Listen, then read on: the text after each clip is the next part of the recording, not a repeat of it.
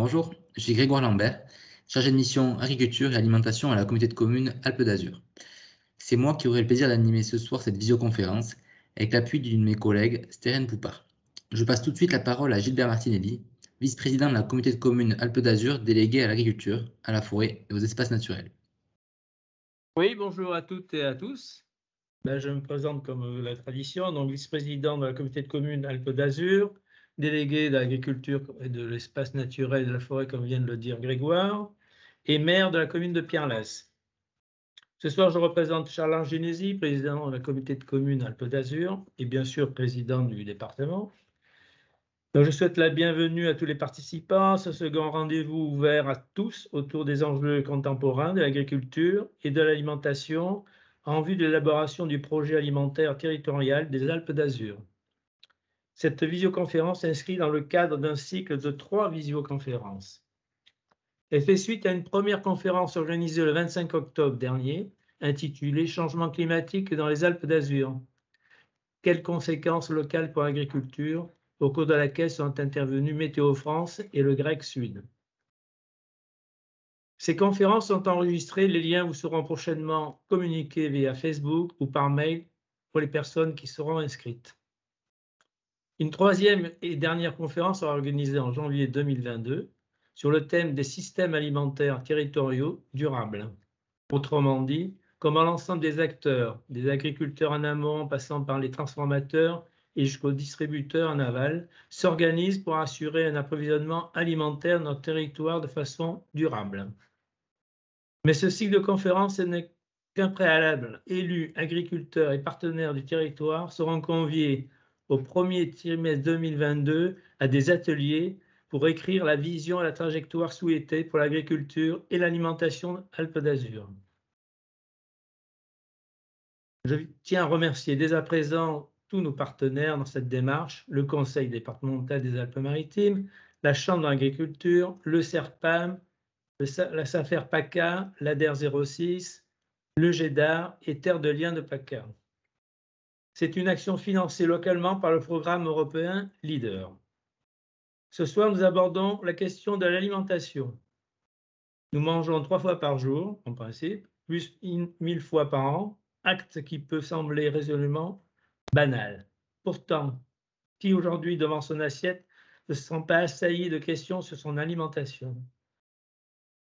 Il faut dire que l'actualité offre des raisons de s'interroger sur notre alimentation impacts environnementaux et climatiques, recommandations alimentaires, considérations sociétales, expression de notre patrimoine culinaire ou encore recherche de convivialité, surtout en cette période et à mesure qu'on se rapproche des fêtes de fin d'année. Pour faire le point sur ces liens existants entre alimentation, santé et environnement et apporter des premiers éléments de réponse, deux invités interviendront ce soir.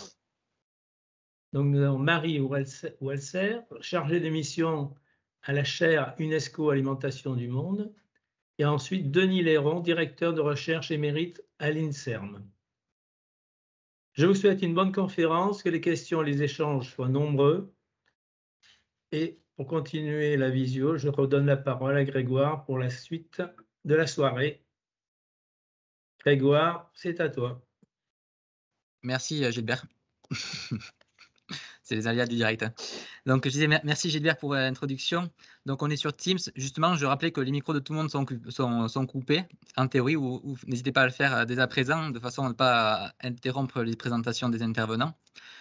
Euh, deuxième point, la visioconférence est enregistrée en vue d'une mise en ligne. Et donc, je vais animer cette visioconférence avec l'appui de, de. Et je laisse d'ailleurs la parole à Steren pour préciser un petit peu le fonctionnement des échanges et des questions. À toi, Steren. Oui, bonjour à toutes et à tous. Euh, je suis Stéphane Poupard, je suis collègue de Grégoire Lambert au pôle développement local et durable de la communauté de communes Alpes d'Azur. Et moi, je travaille sur la réserve internationale de ciel étoilé, mais c'est un sujet qui m'intéresse, donc je l'épaulerai ce soir. Euh, je vous précise que vous avez un chat qui est disponible sur Teams. Quand vous voyez en haut dans la barre euh, en noir, elle se trouve à côté des, icônes bonhomme. Ce sera votre biais pour poser vos questions. Vous pourrez donc les poser et je pourrai ensuite les adresser euh, à Grégoire au moment venu pour éviter d'interrompre de trop la réunion. N'hésitez pas aussi si vous avez des suggestions ou des remarques, même si on n'a pas de réponse ou de commentaires ce soir, on pourra les noter et revenir vers vous, vers vous plus tard. Merci de votre attention et je redonne la parole à Grégoire pour la suite. Merci. Merci Stéphane.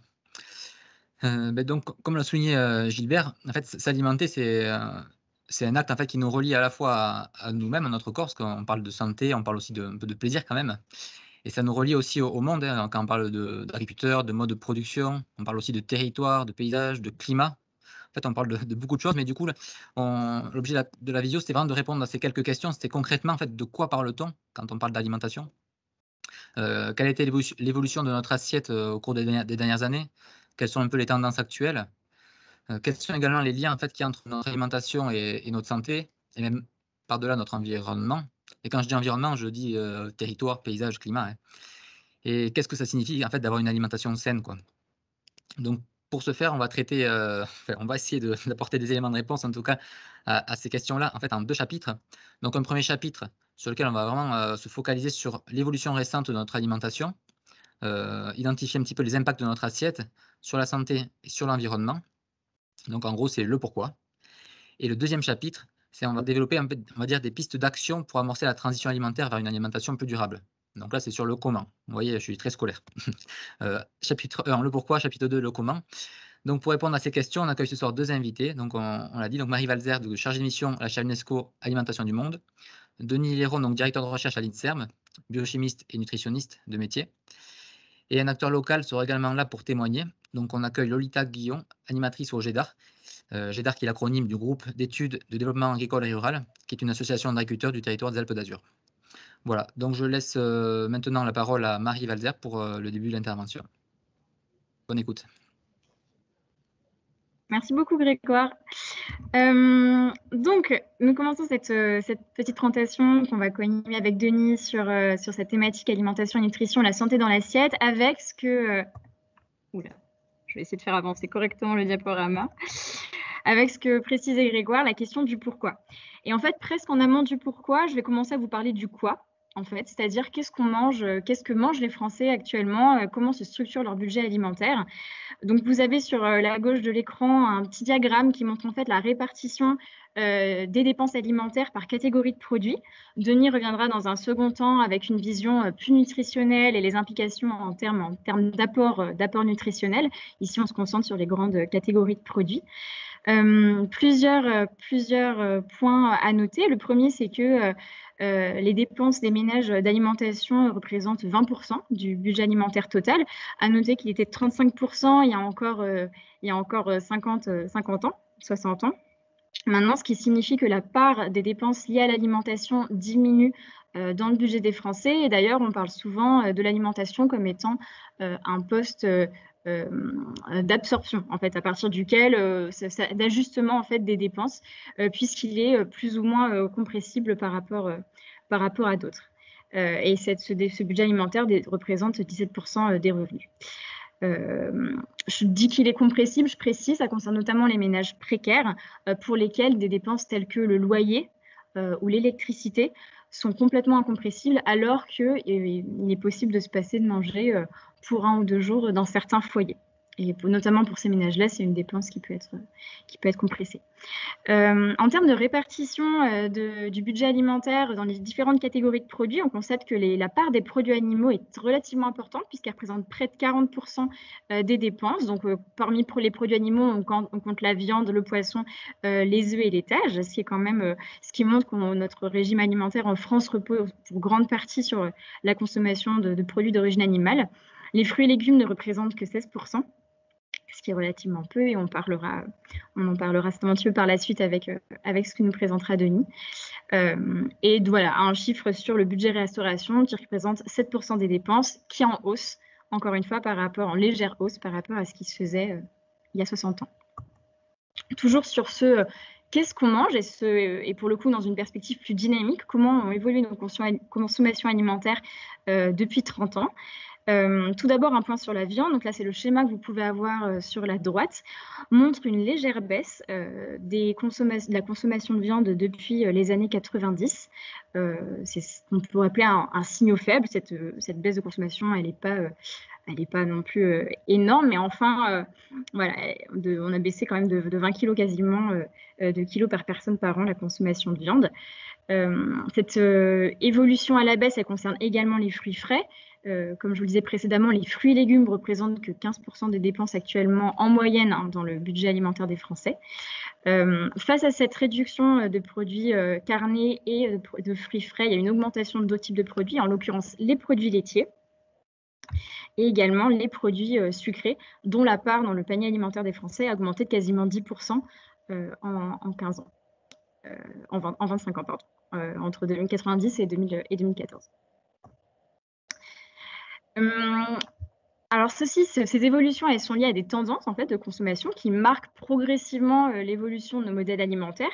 On parle plus d'ailleurs que de tendances presque de signaux faibles parce que celles que je vais vous donner euh, sont, des choses qu'on commence à observer mais qui vont être à suivre car elles vont peut-être prendre une autre dimension dans les temps qui vont, suivre.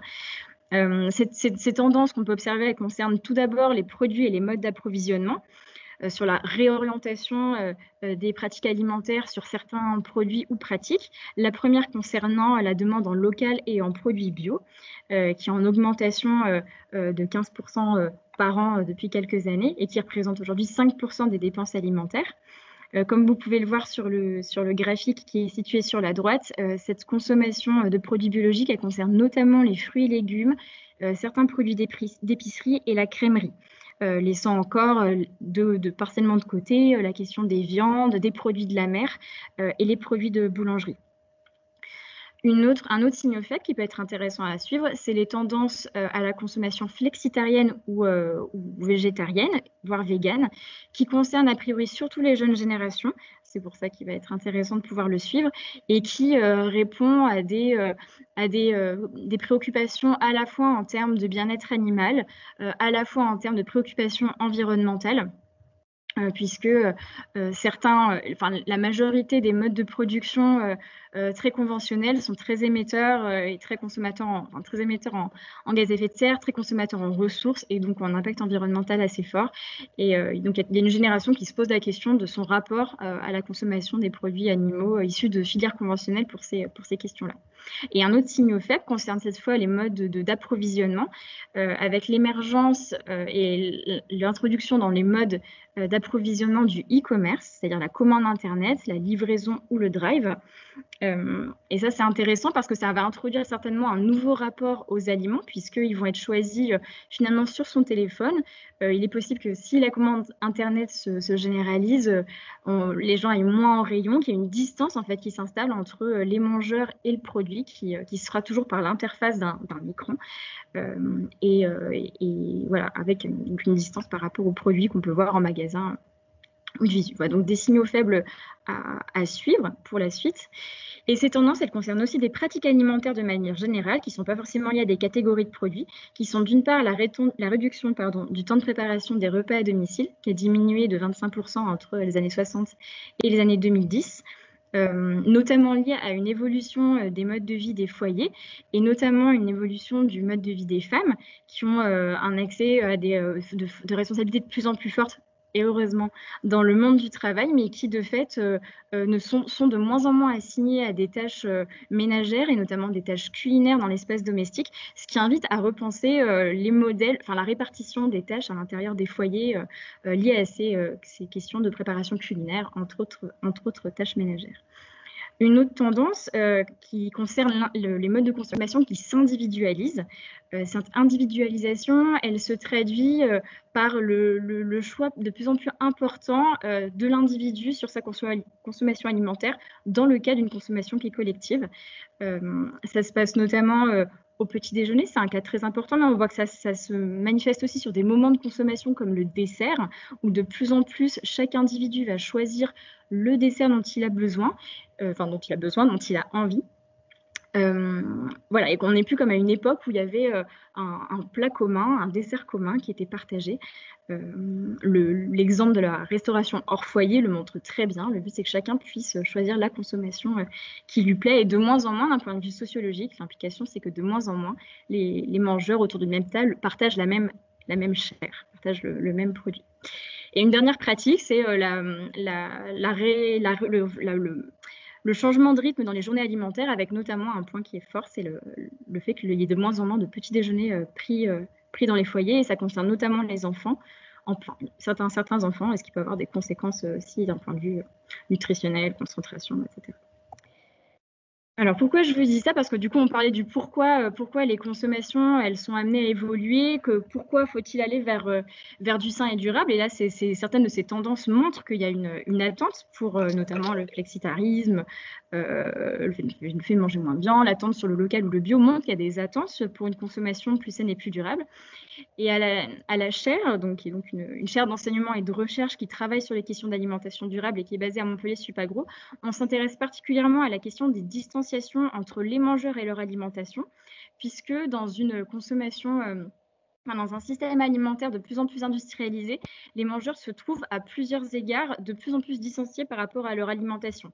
Et c'est une distanciation qui s'effectue à plusieurs niveaux. Géographique tout d'abord, parce que de plus en plus les produits viennent de loin cognitif, parce qu'une partie des mangeurs, notamment lorsqu'ils vivent en ville et qui n'ont pas de lien avec euh, les acteurs du milieu agricole, ne savent pas en fait euh, comment est-ce que, euh, par exemple, un poisson pané arrive dans leur assiette. Ils, ne savent pas quel est le, à quelle espèce de poisson ça correspond, quels sont les procédés qui ont fait que ce produit arrive dans leur assiette.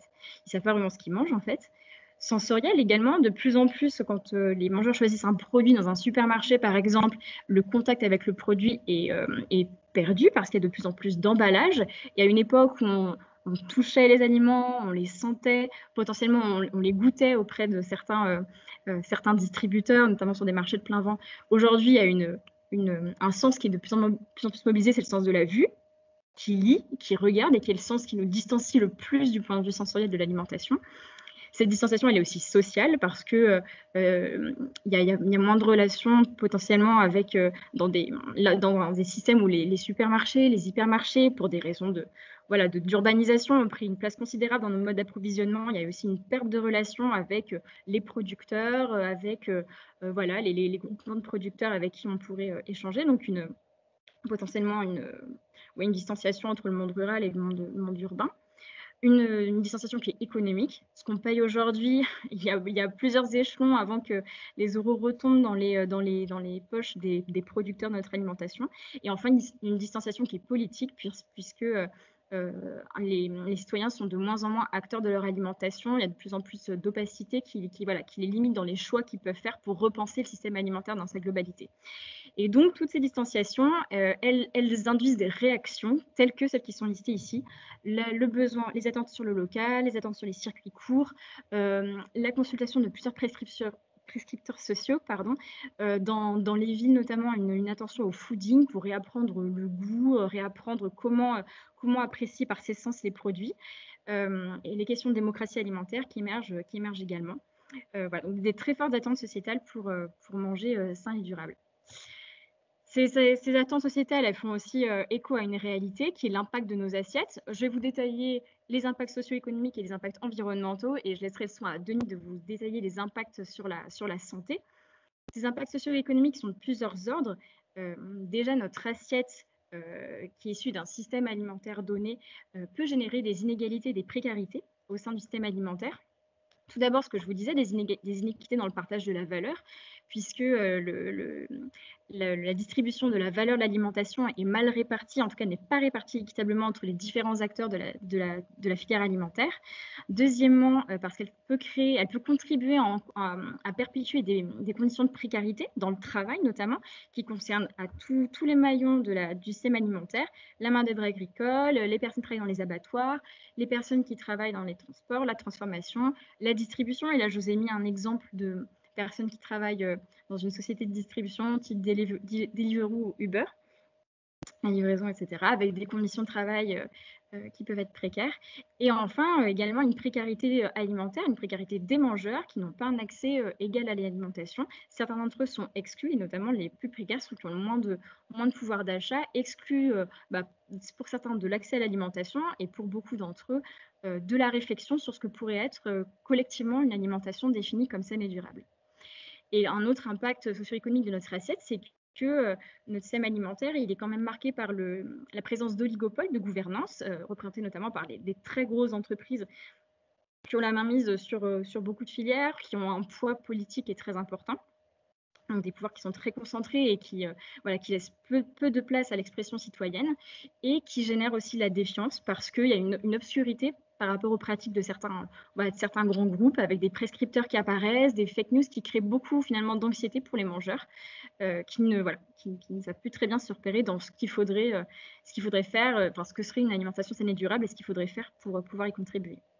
Voilà pour les impacts socio-économiques et j'en termine avec les impacts de nos assiettes sur l'environnement.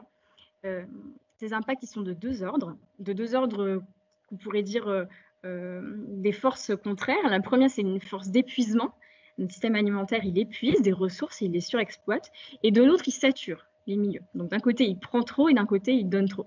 Alors qu'est-ce qu'il prend trop? Euh, Il prend trop sur les sols parce qu'on a des modes de production euh, euh, très conventionnels qui, abîment nos sols, qui, ne contribuent pas à leur, biodiversité et qui, peuvent les rendre improductifs, les faire mourir. En fait, ce sont des sols qui sont de moins en moins vivants un épuisement de la biodiversité, euh, évidemment à, l'échelle des champs dans une certaine mesure, parce qu'il y a tout un système de sélection de semences qui fait que voilà qu'on se resserre sur un certain nombre de variétés euh, qui sont productives, etc., et qu'on laisse de côté toute une, toute une autre partie de la diversité cultivée.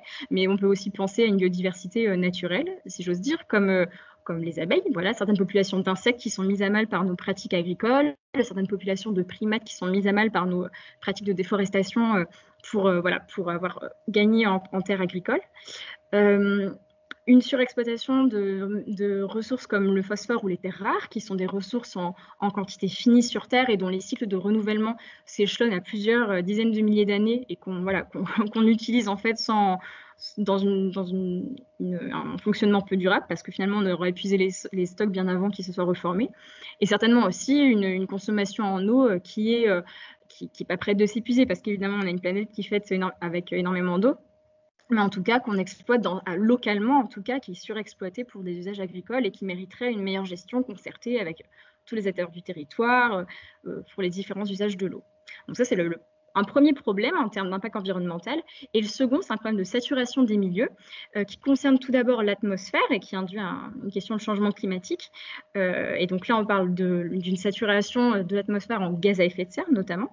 Euh, le système alimentaire émet 30%, 30 des émissions globales en gaz à effet de serre, ce qui est quand même énorme et ce qui encourage à repenser la façon dont fonctionne ce système et, comment est-ce qu'on pourrait émettre moins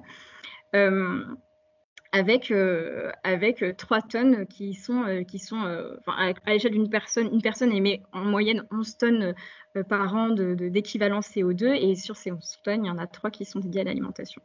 Donc nos pratiques alimentaires, notre assiette, elle a, effectivement un impact sur l'environnement. Et le deuxième type de saturation, c'est celle qui concerne les pollutions de manière générale des pollutions chimiques, en pesticides, en résidus médicamenteux, en azote, en phosphore, qui causent plusieurs problématiques environnementales, dont des problématiques d'eutrophisation. Et puis, euh, une pollution euh, qui n'est pas due qu'au système alimentaire, bien sûr, mais qui contribue fortement. Il suffit de voir le nombre de bouteilles plastiques sur certaines plages, euh, certains, voilà, et certaines zones de, l'océan, de, de, sacs alimentaires. Bref, c'est c'est le plastique et les emballages alimentaires qui contribuent largement une, saturation des milieux euh, en plastique. voilà, je reste là pour les impacts euh, socio-économiques et environnementaux et je laisse la parole à Denis pour euh, qui nous parle des impacts sur la santé. Et Denis, du coup, j'arrête mon partage d'écran. Merci Marie pour ces éléments, c'est très intéressant. Mais du coup, Denis, oui, je vous laisse peut-être partager votre écran, votre présentation. pour les auditeurs, je vous invite à, je suis André. N'hésitez pas à poser vos questions via le chat. Toujours, on répondra après l'intervention de Denis. D'ici 10 à 15 minutes, on fera un petit temps de, questions-réponses. Voilà. À vous, Denis. Merci beaucoup pour l'invitation. Euh, juste pour vous rappeler que j'ai fait toute ma carrière à l'Institut national de la santé et de la recherche médicale. Euh, j'ai travaillé sur les relations entre l'alimentation, le métabolisme et la santé euh, depuis toujours. Et puis plus récemment, je me suis beaucoup intéressé à la durabilité de l'alimentation. Et à ce titre, je fais partie du programme de l'ONU sur les systèmes alimentaires durables. Donc je vais un peu plus vous parler d'alimentation, de nutrition et de relations avec la santé, puisque c'est ce qu'on m'a demandé. Donc, juste pour vous rappeler qu'effectivement, si on mange tous les jours, c'est parce qu'on a des besoins et que, comme tous les organismes vivants, en fait, on est dans un renouvellement permanent. On est en fait en déséquilibre permanent.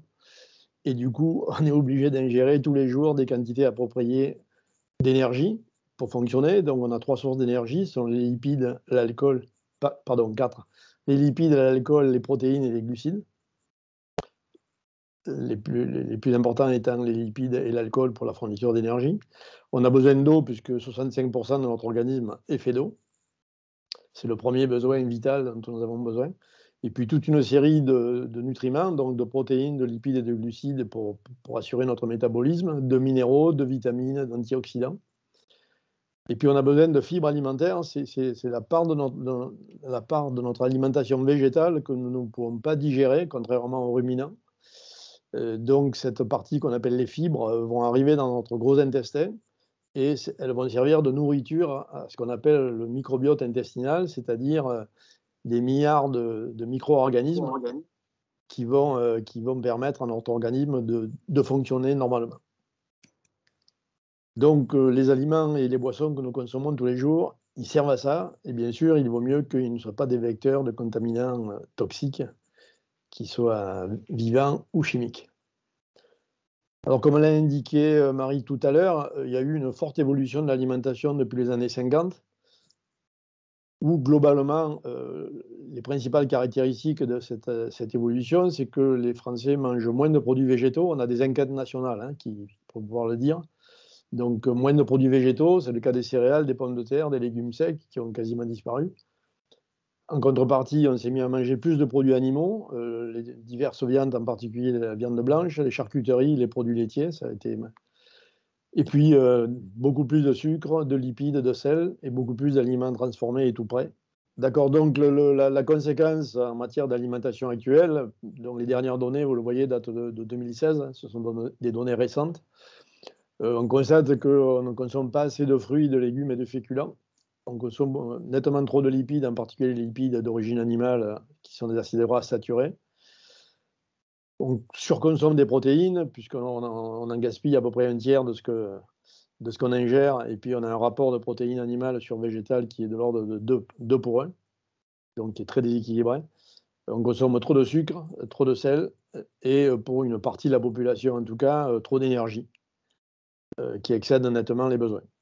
Et puis, à l'inverse, euh, ce sont les, études qui le disent, c'est que en fait, pour une partie importante de la population, parfois la majorité de la population, on a des déficits d'apport en certains minéraux. C'est le cas en particulier du fer, du calcium, du magnésium ou d'autres. C'est le cas des vitamines, presque toutes en fait. Euh, pour presque toutes les vitamines, il y a une partie de la population qui est déficitaire. En fibres alimentaires également, on a un déficit quasiment de moitié d'apport en fibres alimentaires. Et c'est surtout chez les femmes en fait qui souvent euh, ont une alimentation un peu restrictive, euh, qui, chez, qui, euh, chez, qui les apports tendent à être insuffisants. Donc les conséquences de, cette alimentation qui, qui n'est pas du tout optimale aujourd'hui, c'est le développement très très important de beaucoup de pathologies qu'on appelle les maladies non transmissibles, bien qu'une bonne alimentation est aussi un facteur qui prévient les maladies transmissibles. On en a parlé récemment avec la vitamine D et le Covid. Donc en fait, on est en train d'assister dans, tous les pays industrialisés, mais aussi les pays du tiers-monde, à une épidémie de surpoids et d'obésité, de diabète de type 2, de maladies cardiovasculaires, de cancer, d'allergies, de maladies neurodégénératives, de dépression. Donc toutes ces pathologies ont très fortement augmenté dans les dernières décennies. Euh, euh, pour quelques-unes des principales, on en est quasiment à 100 milliards d'euros par an de coûts pour la santé. Euh, les tendances mondiales, selon l'OMS, sont euh, assez catastrophiques, puisqu'il y en a pu calculer que simplement l'obésité représente un coût mondial de 2000 milliards de dollars. Et on pourrait penser qu'en Europe, on est protégé de cela, ce n'est pas du tout le cas. Vous voyez que l'alerte lancée par l'OMS Europe qui, qui, nous prédit l'épidémie d'obésité et de surpoids. Prochaine, s'il te plaît. Suivante. Donc en fait, les, les, chiffres actuels en Europe disent que plus de 50% de la population adulte est soit en surpoids, soit obèse, dont 20% sont obèses. Et chez les enfants, on a un enfant sur trois en Europe aujourd'hui qui est soit en surpoids ou obèse. Si vous regardez à droite les courbes, il s'agit de la France. Aujourd'hui, en France, on est à 52%, donc une majorité d'adultes qui sont en surpoids ou obèses. Donc près de, on se rapproche des 20% d'obèses. Vous voyez que la courbe n'est pas du tout en train de, décélérer. Et vous avez en parallèle l'augmentation des trois principales pathologies que sont le diabète de type 2, les cancers et les maladies cardiovasculaires. Toutes ces pathologies ont un lien avec euh, le surpoids et l'obésité et un déséquilibre alimentaire. Prochaine, suivante. Donc en fait, le lien, on peut le résumer comme cela. Si on a une alimentation qui n'est pas suffisamment de qualité, si en plus on a des contaminants qui contaminent l'alimentation, et si en plus on est trop sédentaire, c'est-à-dire qu'on n'a pas assez de dépenses énergétiques et d'activité physique, eh bien, on va progressivement prendre, du poids, devenir en surpoids, ça va s'aggraver, on va devenir obèse. Notre métabolisme va finir par, par ne plus tenir le coup et on va développer ce qu'on appelle une insulino-résistance, c'est-à-dire notre métabolisme n'est plus suffisamment activé par l'insuline, ce qui va entraîner une augmentation du sucre dans le sang, de lipides dans le sang, de l'hypertension, de l'inflammation. Et c'est la base de ce qui va donner un diabète de type 2, des maladies cardiovasculaires, des cancers, et puis beaucoup d'autres pathologies, qu'elles soient ostéo-articulaires, dépression euh, ou d'autres. Suivante. Donc il y a d'autres inquiétudes en matière de, santé publique, je vous en résume deux. Euh, la première, c'est que euh, l'Organisation mondiale de la santé par son Centre international de recherche sur le cancer, a fait un rapport en 2015 qui a établi, sur la base des données scientifiques disponibles, que la viande rouge est considérée comme un cancérogène possible pour l'homme et que la charcuterie est considérée comme un cancérogène probable pour l'homme. La conséquence de, ce constat scientifique indépendant, c'est que la consommation de viande doit être limitée et que celle de charcuterie doit être très limitée. Suivante. C'est juste pour faire l'animation, voilà.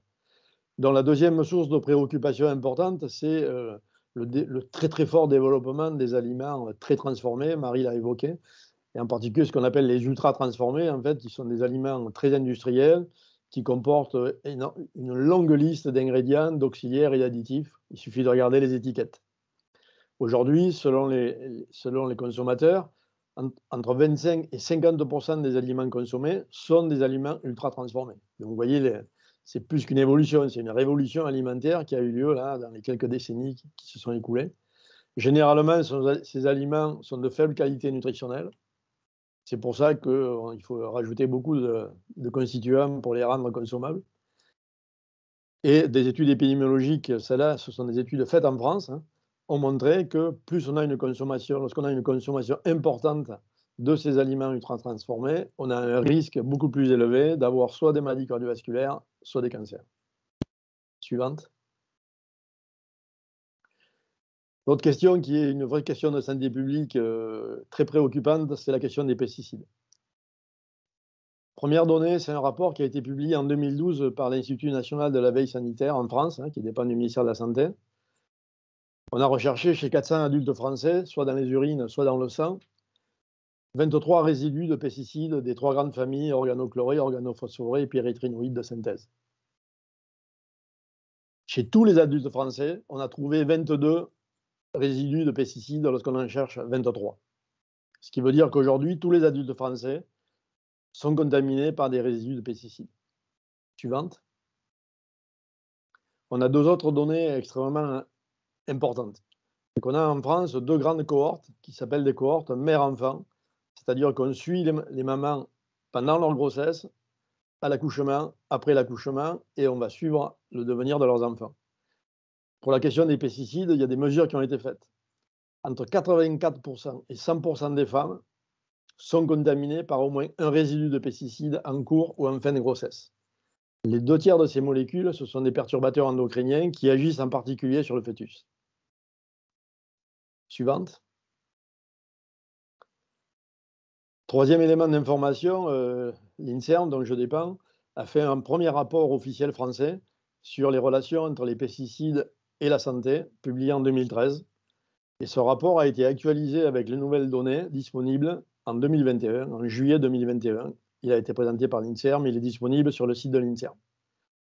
Pour faire très très bref, ces deux rapports, encore plus celui de 2021 que celui de 2013, établit de façon euh, certaine que l'exposition aux pesticides est associée à de très nombreuses pathologies chez l'adulte et chez l'enfant, et pas du tout que chez les agriculteurs, qui bien sûr sont les premiers exposés.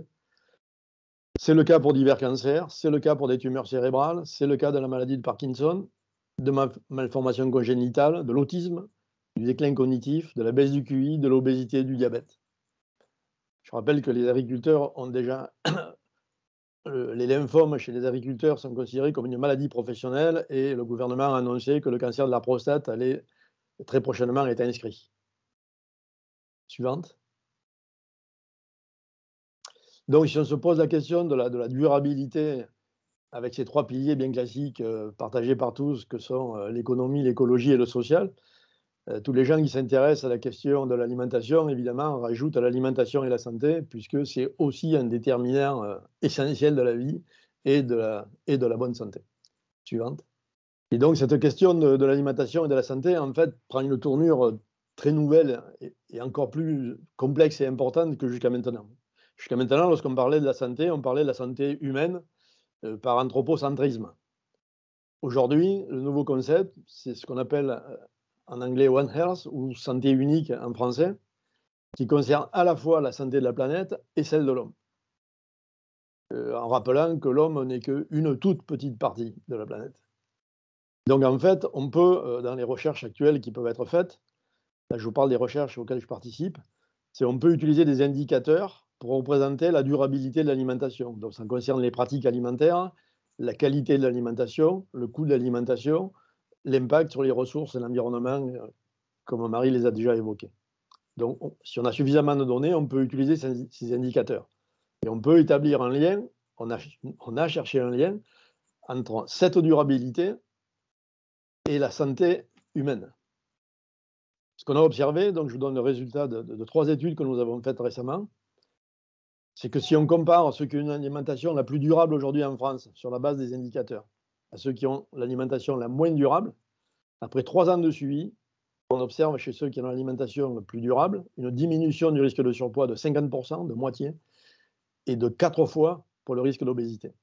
Après quatre ans, on observe une diminution de 40% du risque d'avoir un cancer et un degré moindre de maladie cardiovasculaire. Bien sûr, toutes les données que je vous présente sont publiées dans des très grandes revues scientifiques internationales. Enfin, on a pu, on a pu montrer que à partir de l'alimentation actuelle, si l'on fait des efforts pour avoir une alimentation plus durable sur différents types de critères, on peut réduire les impacts sur la planète, donc sur la santé de la planète. Ça concerne la surface de terre cultivable, l'énergie pour produire et les émissions de gaz à effet de serre pour produire, de 28 à 86% Donc oui, on peut réconcilier la santé de l'homme et la santé de la planète si on veut vraiment le faire. Suivante. Un autre exemple euh, en population française. Si on prend une population, donc dans le cadre de la grande cohorte avec laquelle on travaille, qui s'appelle la cohorte Nutrinet Santé, dans cette étude, on a travaillé sur 34 000 adultes. On a, on a constitué cinq groupes en fonction des émissions de gaz carbonique liées à la consommation alimentaire des gens. Et vous voyez que dans la population adulte française aujourd'hui, entre ceux qui émettent le moins par leur alimentation à ceux qui émettent le plus par leur alimentation, on a un facteur 5,5, ce qui est absolument colossal. Et plus on augmente cette émission de gaz à effet de serre par l'alimentation, plus la surface de terre et l'énergie pour produire l'alimentation est importante, plus les gens consomment d'énergie en fait, ils consomment plus de produits animaux, moins d'aliments bio, la qualité nutritionnelle de leur alimentation diminue, les individus ont plus de surpoids et d'obésité, et le coût d'achat de leur alimentation est plus élevé. Suivante. Donc, vous voyez qu'on arrive à, l'idée que oui, il faut, repenser complètement le concept d'alimentation, et en particulier si on prétend parler d'alimentation durable. C'est ce qui s'est passé dans le cadre de, la FAO, donc l'organisme des Nations Unies pour l'agriculture et l'alimentation, lors d'une grande conférence internationale qui a eu lieu en 2010 et à laquelle j'ai activement participé. lors de cette conférence, une, définition euh, des alimentations durables a été établie par consensus. Euh, je vous la laisse lire tout en la lisant rapidement. Vous allez voir qu'il y a beaucoup de mots-clés extrêmement importants et qui changent complètement la vision qu'on peut avoir de l'alimentation. On dit que les alimentations durables sont les systèmes alimentaires à faible impact environnementaux qui contribuent à la sécurité alimentaire et nutritionnelle des générations présentes et futures.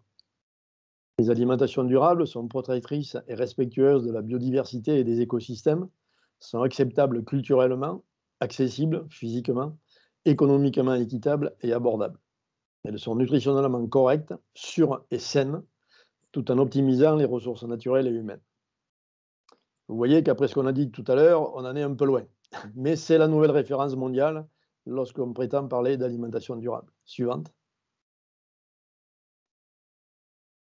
Et donc la conséquence, c'est que euh, suite à, ce travail de la FAO, euh, il y a eu un accord entre la FAO et l'UNEP, qui est le programme mondial de l'ONU sur l'environnement, pour établir des concepts sur les systèmes alimentaires durables, qui est repris ici.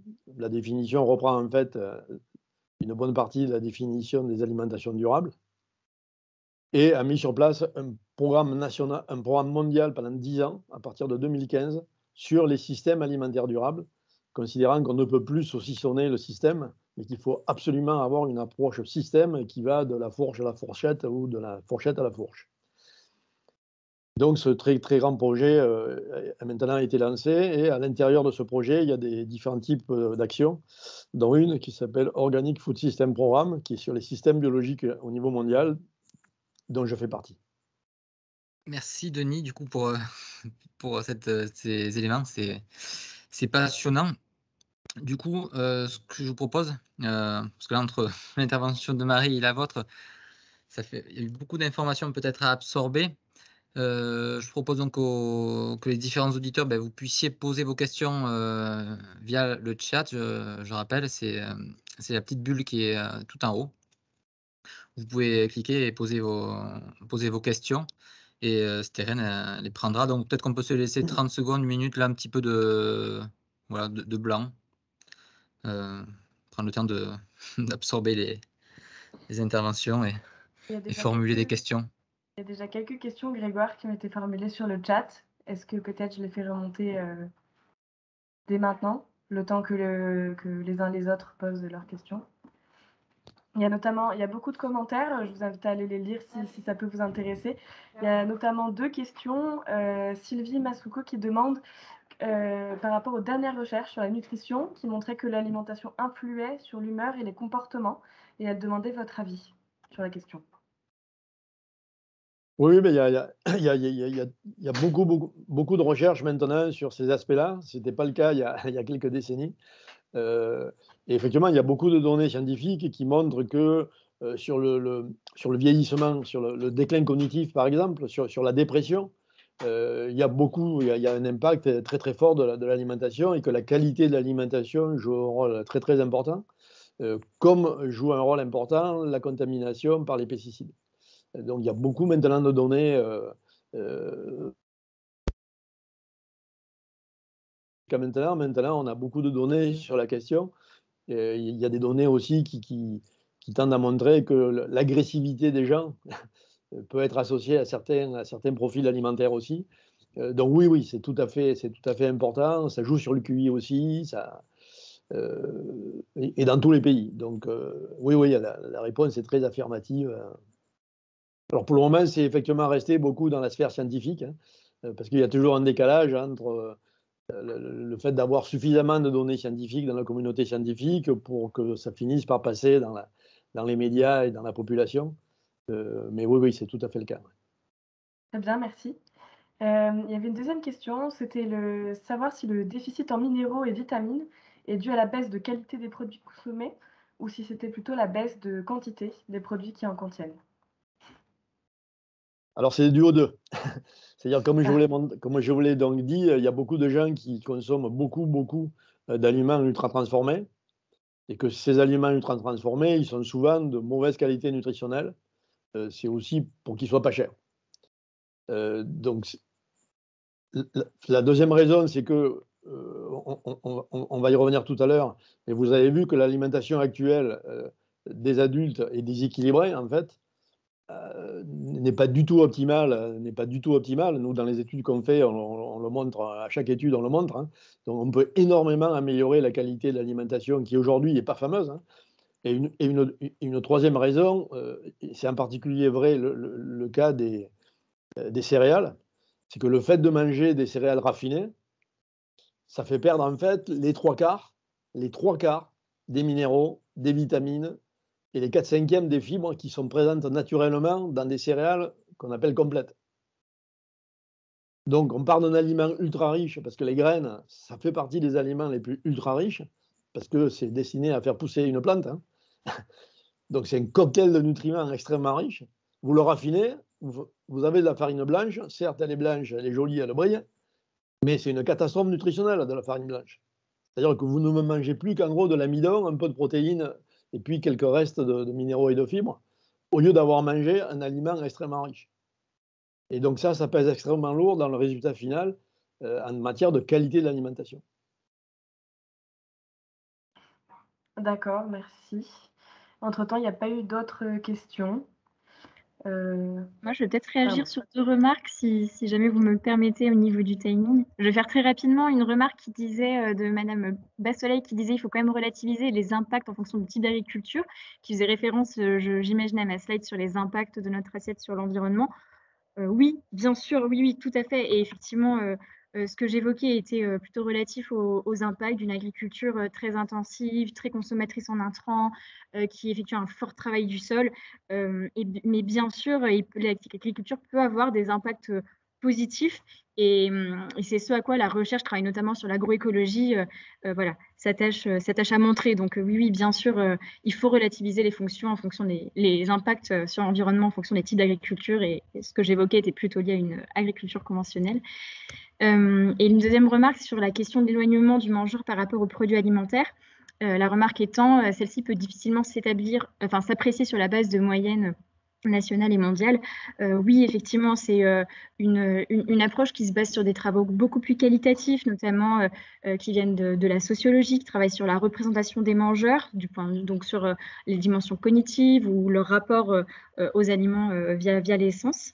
Euh, donc effectivement une approche qui est plus qualitative et qui dépend des pays.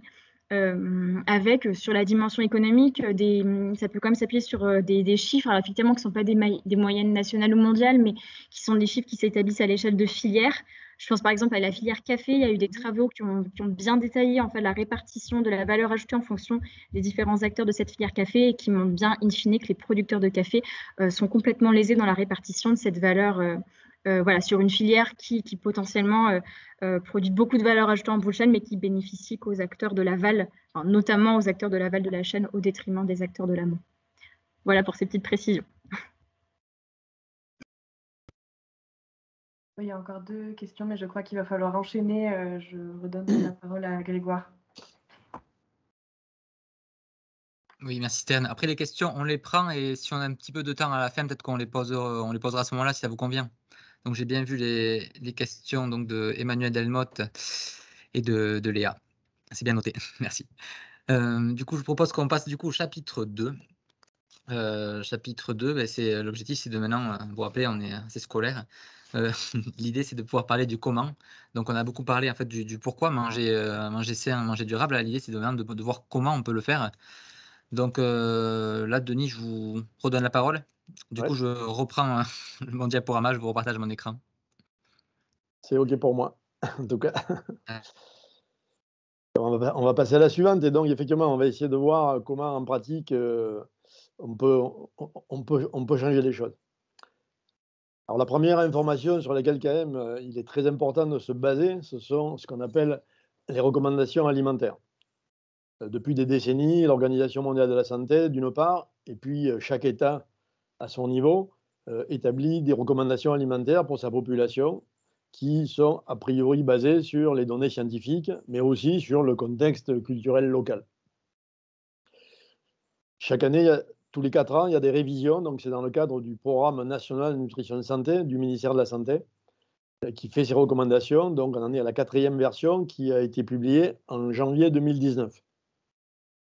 Donc, les nouvelles recommandations, qu'est-ce qu'elles disent? Elles disent des choses qui étaient déjà dites, mais qui sont très fortement accentuées. C'est qu'il faut augmenter tous les produits végétaux, augmenter les fruits et légumes pour enfin atteindre les 5 portions par jour. Vous connaissez le, dicton, euh, mais on n'y est toujours pas arrivé.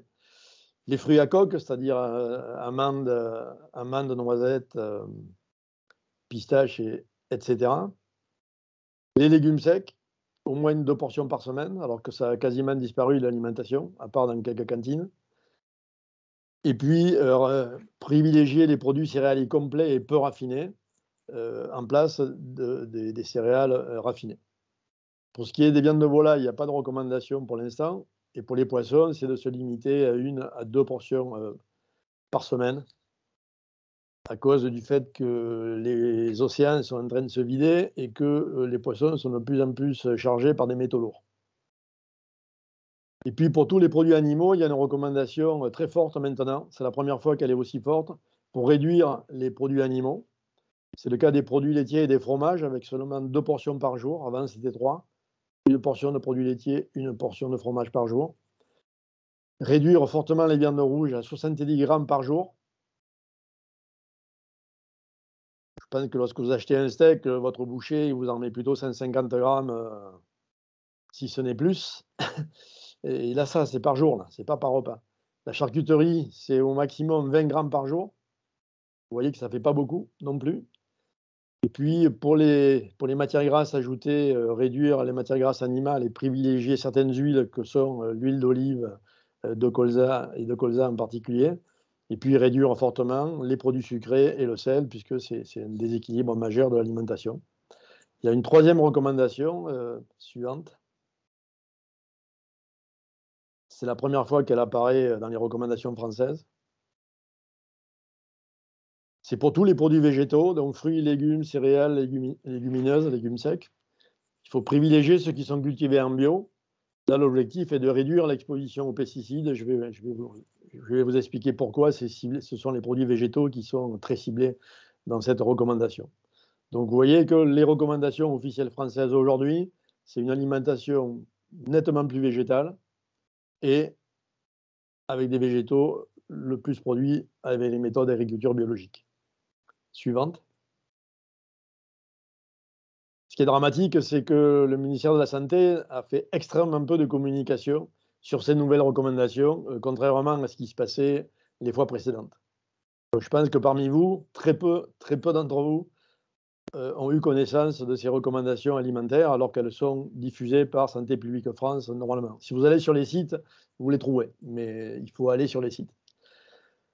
Donc un autre exemple, je voudrais vous donner un, exemple en fait que ces recommandations, non seulement elles sont applicables, mais il y a une partie des Français qui déjà les appliquent. En fait, avec mes collègues euh, euh, épidémiologistes de la nutrition euh, de l'université Paris 13 à Bobigny, nous travaillons sur l'étude Nutrinet Santé, qui est une très très grande cohorte nationale française, qui est faite d'adultes volontaires, qui sont suivis depuis 2009 et, euh, l'essentiel des, données sont collectées par une interface Internet sécurisée. Et aujourd'hui, il y a 170 000 adultes dans notre base de données. On a aussi pu récupérer chez 20 000 sujets des échantillons de sang et d'urine, parce que dans certains cas, on a besoin de faire des analyses euh, biologiques. Suivante. Donc, je vais vous faire un résumé de, ce qu'on a observé. C'est la plus grande étude au monde et la première vraiment très importante qui a étudié euh, les consommateurs d'aliments bio en les comparant à ceux qui ne mangent jamais bio. Comme on a une très grande cohorte, vous voyez là, dans cette première étude, on a travaillé sur 54 000 personnes. C'est la, taille des grandes études euh, mondiales. Hein. Et donc, on a comparé ce que consomment en matière d'alimentation quotidienne les consommateurs réguliers de produits bio, si on les compare aux traits ici, qui sont ceux qui ne mangent jamais bio. Donc vous voyez effectivement que les consommateurs réguliers de produits bio en France, ils n'ont pas du tout la même alimentation que ceux qui ne mangent pas bio. Ils mangent deux à trois fois plus de légumes secs, de fruits à coque, de légumes, d'huile végétale, de fruits. Au niveau fruits, boissons alcoolisées, si on fait la moyenne des deux sexes, on n'a pas de grosse différence. un peu moins de fromage, nettement moins de produits laitiers. Là, on est dans la zone des moins 30, moins 40%. Hein. Ce n'est pas moins 5%. Hein. Donc, 40% euh, de moins de produits laitiers, 30% de moins de fast-food, 30 à 35% de moins de viande de volaille, 40% de moins de, charcuterie, 40% de moins euh, de viande rouge. Suivante. Donc la, conclusion de ce premier travail que nous avons publié en 2013, c'est que les consommateurs bio réguliers, ils ont une alimentation nettement plus végétale. Si on, calcule avec des scores, des scores scientifiques, cette alimentation de ces consommateurs-là est de meilleure qualité. Elle apporte plus, si on calcule les apports en nutriments liés à ce type d'alimentation, donc plus végétal, ça apporte plus d'acides gras, de lipides, euh, très recommandés, en particulier ceux de la famille des oméga 3 ça apporte plus d'un certain nombre de vitamines, ça apporte plus de certains minéraux et ça apporte plus de fibres parce que euh, ces consommateurs euh, consomment plus de, produits non raffinés. Suivante. L'autre information que nous avons obtenue lors de cette première étude, qui apparaît maintenant, c'est la probabilité de surpoids et d'obésité. Si on compare les consommateurs réguliers de produits bio à ceux qui ne mangent jamais bio, on a autour de moins, moins 40% de risque d'être en surpoids si on mange régulièrement bio. Et on a autour de moins, entre moins 50 à moins 60% de risque d'être obèse. Cette première étude a été confirmée par deux autres études faites en France, dont une par nous, une en Allemagne et une aux États-Unis. Suivante. Donc, comme je vous le disais, si on regarde avec des scores, lorsqu'on passe d'une alimentation qui n'est pas bio on augmente jusqu'à une augmentation régulière bio. Ici, on est à 62% d'aliments bio dans l'alimentation des gens. On voit que le score d'adhésion aux recommandations nutritionnelles ne fait qu'augmenter. Et que ce score ici, qui est un score de qualité nutritionnelle de l'alimentation, ne fait aussi qu'augmenter. Suivante. Vous pouvez, sauter la prochaine. Oui, suivante. Donc évidemment, on a été conduit à étudier l'aspect pathologie. Puisqu'on sait très bien que, comme je vous l'ai montré tout à l'heure avec le schéma, quand on commence à avoir du surpoids et de l'obésité, on est à fort risque de pathologie. Donc la première pathologie sur laquelle on a travaillé, c'est le syndrome métabolique que connaît bien votre médecin, puisque 20% de la population adulte française a un syndrome métabolique. C'est en fait un état de prédiabète et c'est un très fort risque cardiovasculaire et qui est associé à l'obésité. On a pu travailler ici sur 8000 personnes parce qu'il faut avoir des échantillons sanguins pour pouvoir faire cette étude on a fait trois catégories de gens. Ceux qui mangent régulièrement bio comparé à ceux qui ne mangent jamais bio. Et ils ont un risque de 31% plus bas de faire un syndrome métabolique. Bien sûr, pour toutes ces valeurs concernant les pathologies, on est obligé d'ajuster, c'est-à-dire de prendre en compte tous les autres facteurs qui peuvent influencer sur le résultat. Euh, sinon, on ne peut jamais tirer ce type de conclusion pour publier dans des revues scientifiques. À la suite de ces résultats très encourageants, on a travaillé sur le risque de diabète de type 2. Donc, c'est le diabète euh, ben, qui se développe de plus en plus chez les adultes. il y a 5% des Français qui ont un diabète de type 2 aujourd'hui. Donc, on a pu travailler sur euh, près de 33 000 personnes avec un âge moyen de 53 ans. On a pu suivre les gens en fonction de leur alimentation pendant 4 années. Ce qu'on a observé, c'est que les plus forts consommateurs, de bio, 56% de leur alimentation est bio, ils ont un risque réduit de 35% de développer un diabète, un nouveau diabète, en 4 ans. Et c'est surtout chez les femmes qu'on observe ce type de résultat. Et la seule autre étude qui a été publiée, elle a été publiée aux États-Unis avec une cohorte euh, officielle représentative des États-Unis qui a montré que ceux qui, achètent le plus d'aliments bio aux États-Unis par rapport à ceux qui n'en achètent pas, ils ont un risque réduit de 20 à 24% d'avoir un diabète de type 2. Suivante.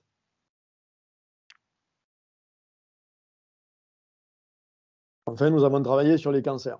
Donc, nous avons recherché une dizaine de cancers dans notre population. On a pu travailler ici sur 70 000 personnes, donc 78% de femmes avec un âge moyen de 44 ans. Vous voyez, c'est jeune pour avoir des cancers. Hein. Et on a pu suivre les gens pendant 4,6 années. Bien sûr, les modèles sont ajustés sur tous les facteurs dont je vous ai parlé qui peuvent influencer les résultats, indépendamment de l'aspect bio. Ici, on a fait quatre groupes. Ceux qui ne consomment jamais bio, jusqu'à ceux qui mangent 65% de leur alimentation avec des aliments bio. Et on voit que plus on mange bio, plus le risque diminue.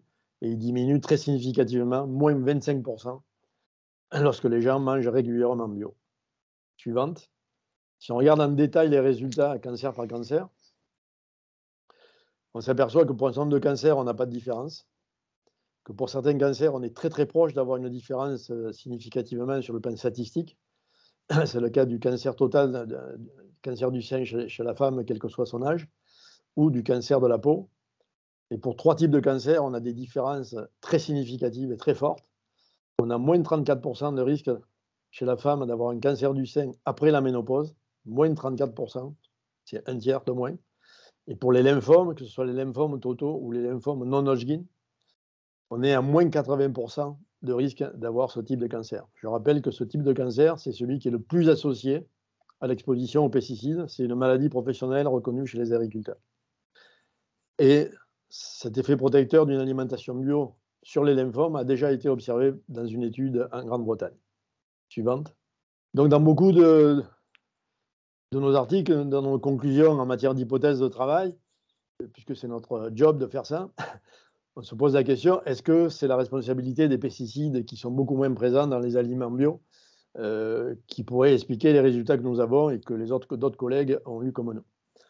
Alors effectivement, si on prend les données officielles de l'autorité européenne de sécurité alimentaire, on a des analyses, vous voyez que sur 84 000 échantillons de produits végétaux analysés, 44% sont contaminés par au moins un résidu de pesticides que l'on peut quantifier. Un petit tiers des échantillons, ils ont une contamination multiple et qui augmente, euh, ce qui veut dire qu'on est exposé à un cocktail de pesticides par l'alimentation. Si on regarde les aliments végétaux bio, seulement 6,5% au niveau européen de pesticides quantifiables, 6,5 à comparer à 44 suivante. Si on regarde les données françaises qui ont alimenté le rapport européen, c'est celle de la DGCCRF, qui ont été publiées en 2016 en France sur plus de 3000 échantillons de produits végétaux. On a des données assez proches, hein. on est à 48% d'aliments végétaux qui ont des résidus de pesticides quantifiables. On en a 27%, ici on était, à 28%, qui en ont au moins deux, si ce n'est plus. Et on voit qu'en France, là je détaille les chiffres, on a c'est le cas de 70% des fruits, 37% des légumes, 44% des légumes secs et 30% des céréales. Si on regarde les aliments bio par comparaison, on a 1,9% à comparer à 48 qui ont des résidus de pesticides quantifiables. Suivante. Donc effectivement, ça soutient beaucoup notre hypothèse de travail que cette euh, exposition euh, très réduite aux pesticides expliquerait les résultats. On a fait deux autres études publiées dans des revues de, de niveau top mondial ici, dans Nature ici. On a pu calculer à partir de ce que les gens mangent que si les gens se mettent à manger plus de végétaux, ce qui est recommandé, vous l'avez vu par les recommandations, mais que ce sont des végétaux conventionnels, on va augmenter leur exposition aux pesticides pour la raison que je viens de vous expliquer, c'est parce que la moitié de ces échantillons de produits végétaux sont contaminés par des résidus de pesticides. Donc si on en mange plus, forcément, on va augmenter l'exposition aux pesticides. Par contre, si au contraire, on choisit des aliments végétaux en bio, et ici, dans notre cas, on n'est qu'à 51% d'aliments bio, donc c'est la moitié. On réduit déjà très fortement l'exposition aux pesticides. Dans un deuxième travail publié euh, l'année dernière, on a montré qu'effectivement, si, on suit les nouvelles recommandations françaises que je vous ai montrées, donc plus de végétaux et en bio, on a pu calculer que plus plus mieux on suit les recommandations, plus on va réduire notablement l'exposition aux pesticides suivante. on a travaillé sur 30 000 personnes. Alors effectivement, on a fini par le mesurer à partir des urines de 150 consommateurs bio qu'on a comparé à 150 consommateurs non bio qui sont par ailleurs strictement comparables. Pour tout, pour leur âge, leur, sexe, ce qu'ils mangent et tout. La seule différence, c'est que les uns mangent bio à 67%, les autres ne mangent jamais bio. Et on a dosé les résidus de pesticides dans leurs urines, soit chez les consommateurs qui ne mangent pas bio, soit envers chez ceux qui mangent bio. Et vous voyez qu'on a une réduction significative dans les deux cas, soit pour les métabolites de pesticides organophosphorés, très utilisés, soit pour les métabolites de pesticides péritrénoïdes, qui sont aussi très utilisés aujourd'hui. Suivante. Cette étude, c'est la huitième publiée dans le monde qui montre une réduction très significative de la teneur en résidus de pesticides dans les urines soit chez les adultes, il y a eu quatre études, soit chez les enfants, il y a eu trois études. Suivante.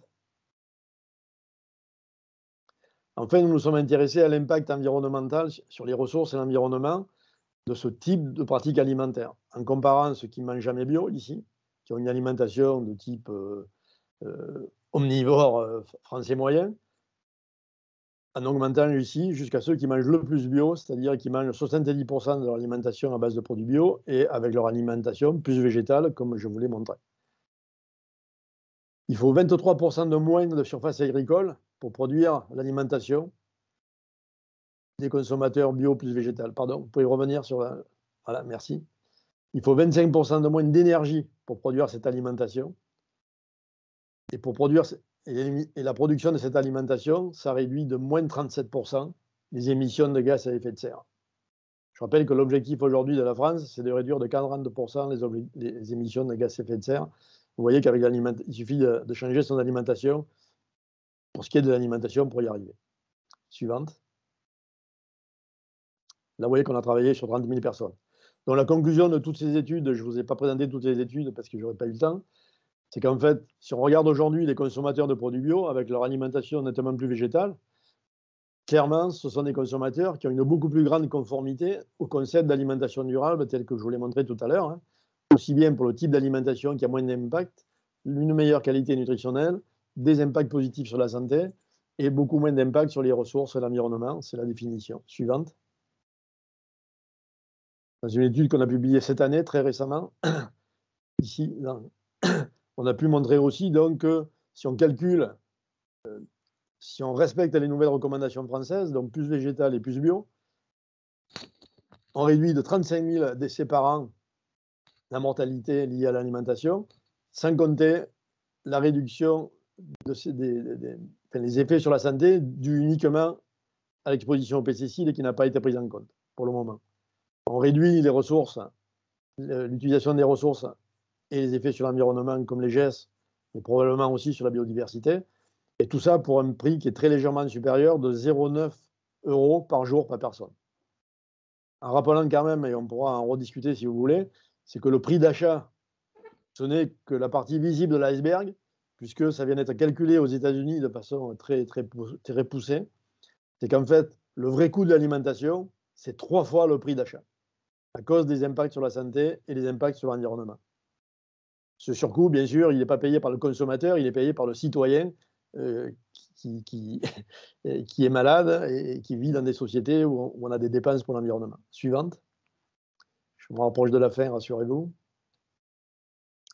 Donc en fait, euh, pour faire très bref, là aussi, on a depuis une décennie, une bonne décennie, une énorme liste de rapports internationaux d'experts aussi bien de ceux qui viennent de l'ONU, de la FAO, du, GIEC, vous en entendez parler, mais aussi l'équivalent du GIEC pour la biodiversité, euh, l'équivalent pour le développement durable.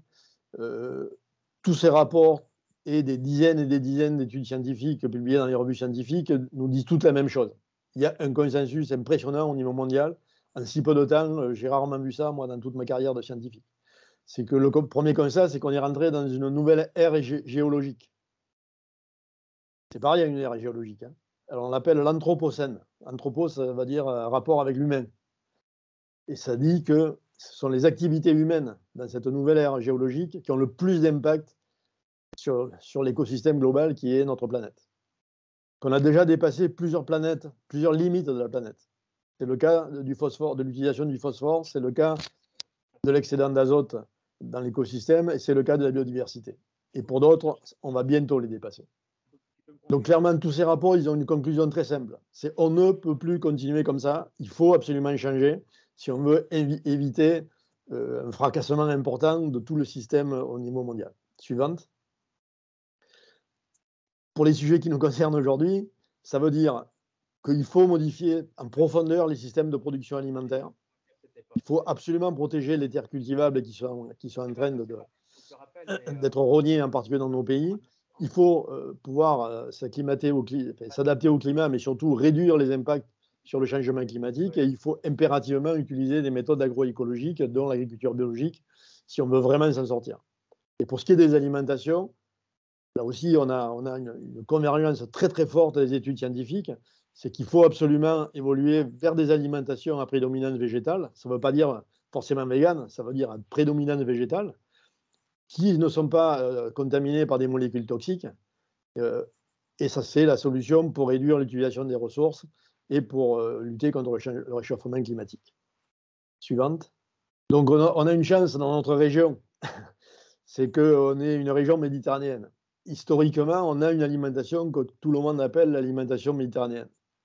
Il se trouve, cette alimentation, elle est résumée ici par la pyramide que nous avons publiée en 2011, euh, qui rappelle qu'il y a des éléments sociaux dans l'alimentation la, dans méditerranéenne, dont les produits de saison, les produits locaux, la biodiversité, le respect de l'environnement. Hein. C'était le cas jusqu'aux années 50, avec une base alimentaire qui est faite essentiellement de produits végétaux, des fruits, des légumes, des céréales, mais aussi des légumes secs, mais aussi des noix, des noisettes, des olives, des oignons et des, plantes aromatiques, avec un peu de produits animaux, de produits laitiers ici, et puis euh, donc soit des produits laitiers, soit du fromage, et puis des quantités de viande réduites. Hein. Dans, l'alimentation métallique traditionnelle, on est à moins de deux portions de viande par jour et, euh, à moins d'une portion de charcuterie par, par semaine. Euh, pardon, pour la viande, c'est deux portions, deux portions par semaine dans l'alimentation traditionnelle et ça a été repris par notre travail en 2011. Et si, on regarde, si vous regardez l'impact écologique de ce type d'alimentation, la pyramide est inversée. Parce que les produits végétaux ont des impacts écologiques bien, plus, bien réduits, très réduits, par rapport ici au haut de la pyramide qui est fait de produits surtout animaux. Donc ça confirme, et, on a une série d'études scientifiques qui montrent clairement que si on a une alimentation méditerranéenne aujourd'hui, on a des impacts environnementaux ou sur les ressources très réduits de l'ordre de 30 à 60% Suivante, je crois que c'est la dernière. Donc on a un atout dans notre région qui est un atout formidable, hein, aussi bien que sur le plan culturel que sur le plan nutritionnel.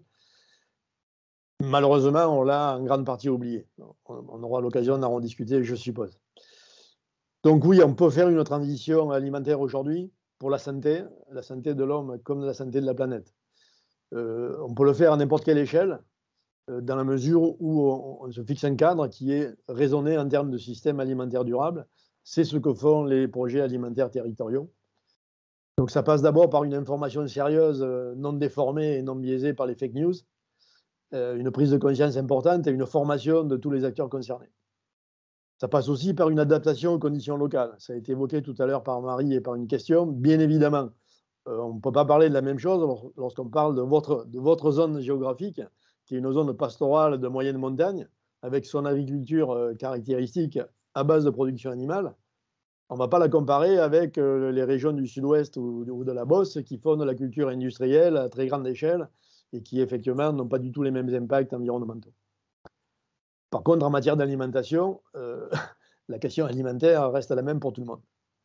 Donc ça veut dire aussi qu'il faut absolument que les institutions, qu'elles soient nationales ou internationales, et on est en particulier concerné par l'Union européenne, prennent des positions très claires sur le sujet. Ça a été fait par l'Union européenne dans le cadre de la réforme de la PAC, qui n'a absolument pas été suivie au niveau national français.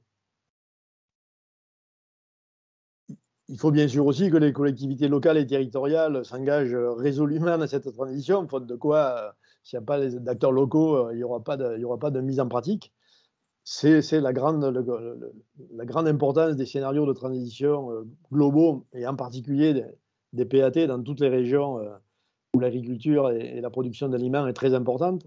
Et ça concerne bien sûr la, transition à l'agroécologie et à l'agriculture biologique, la production locale, on, l'a évoqué, mais aussi tout un travail sur, sur la promotion de la santé, la promotion des, des, alimentations saines et, et tout ce qui tourne autour des écosystèmes.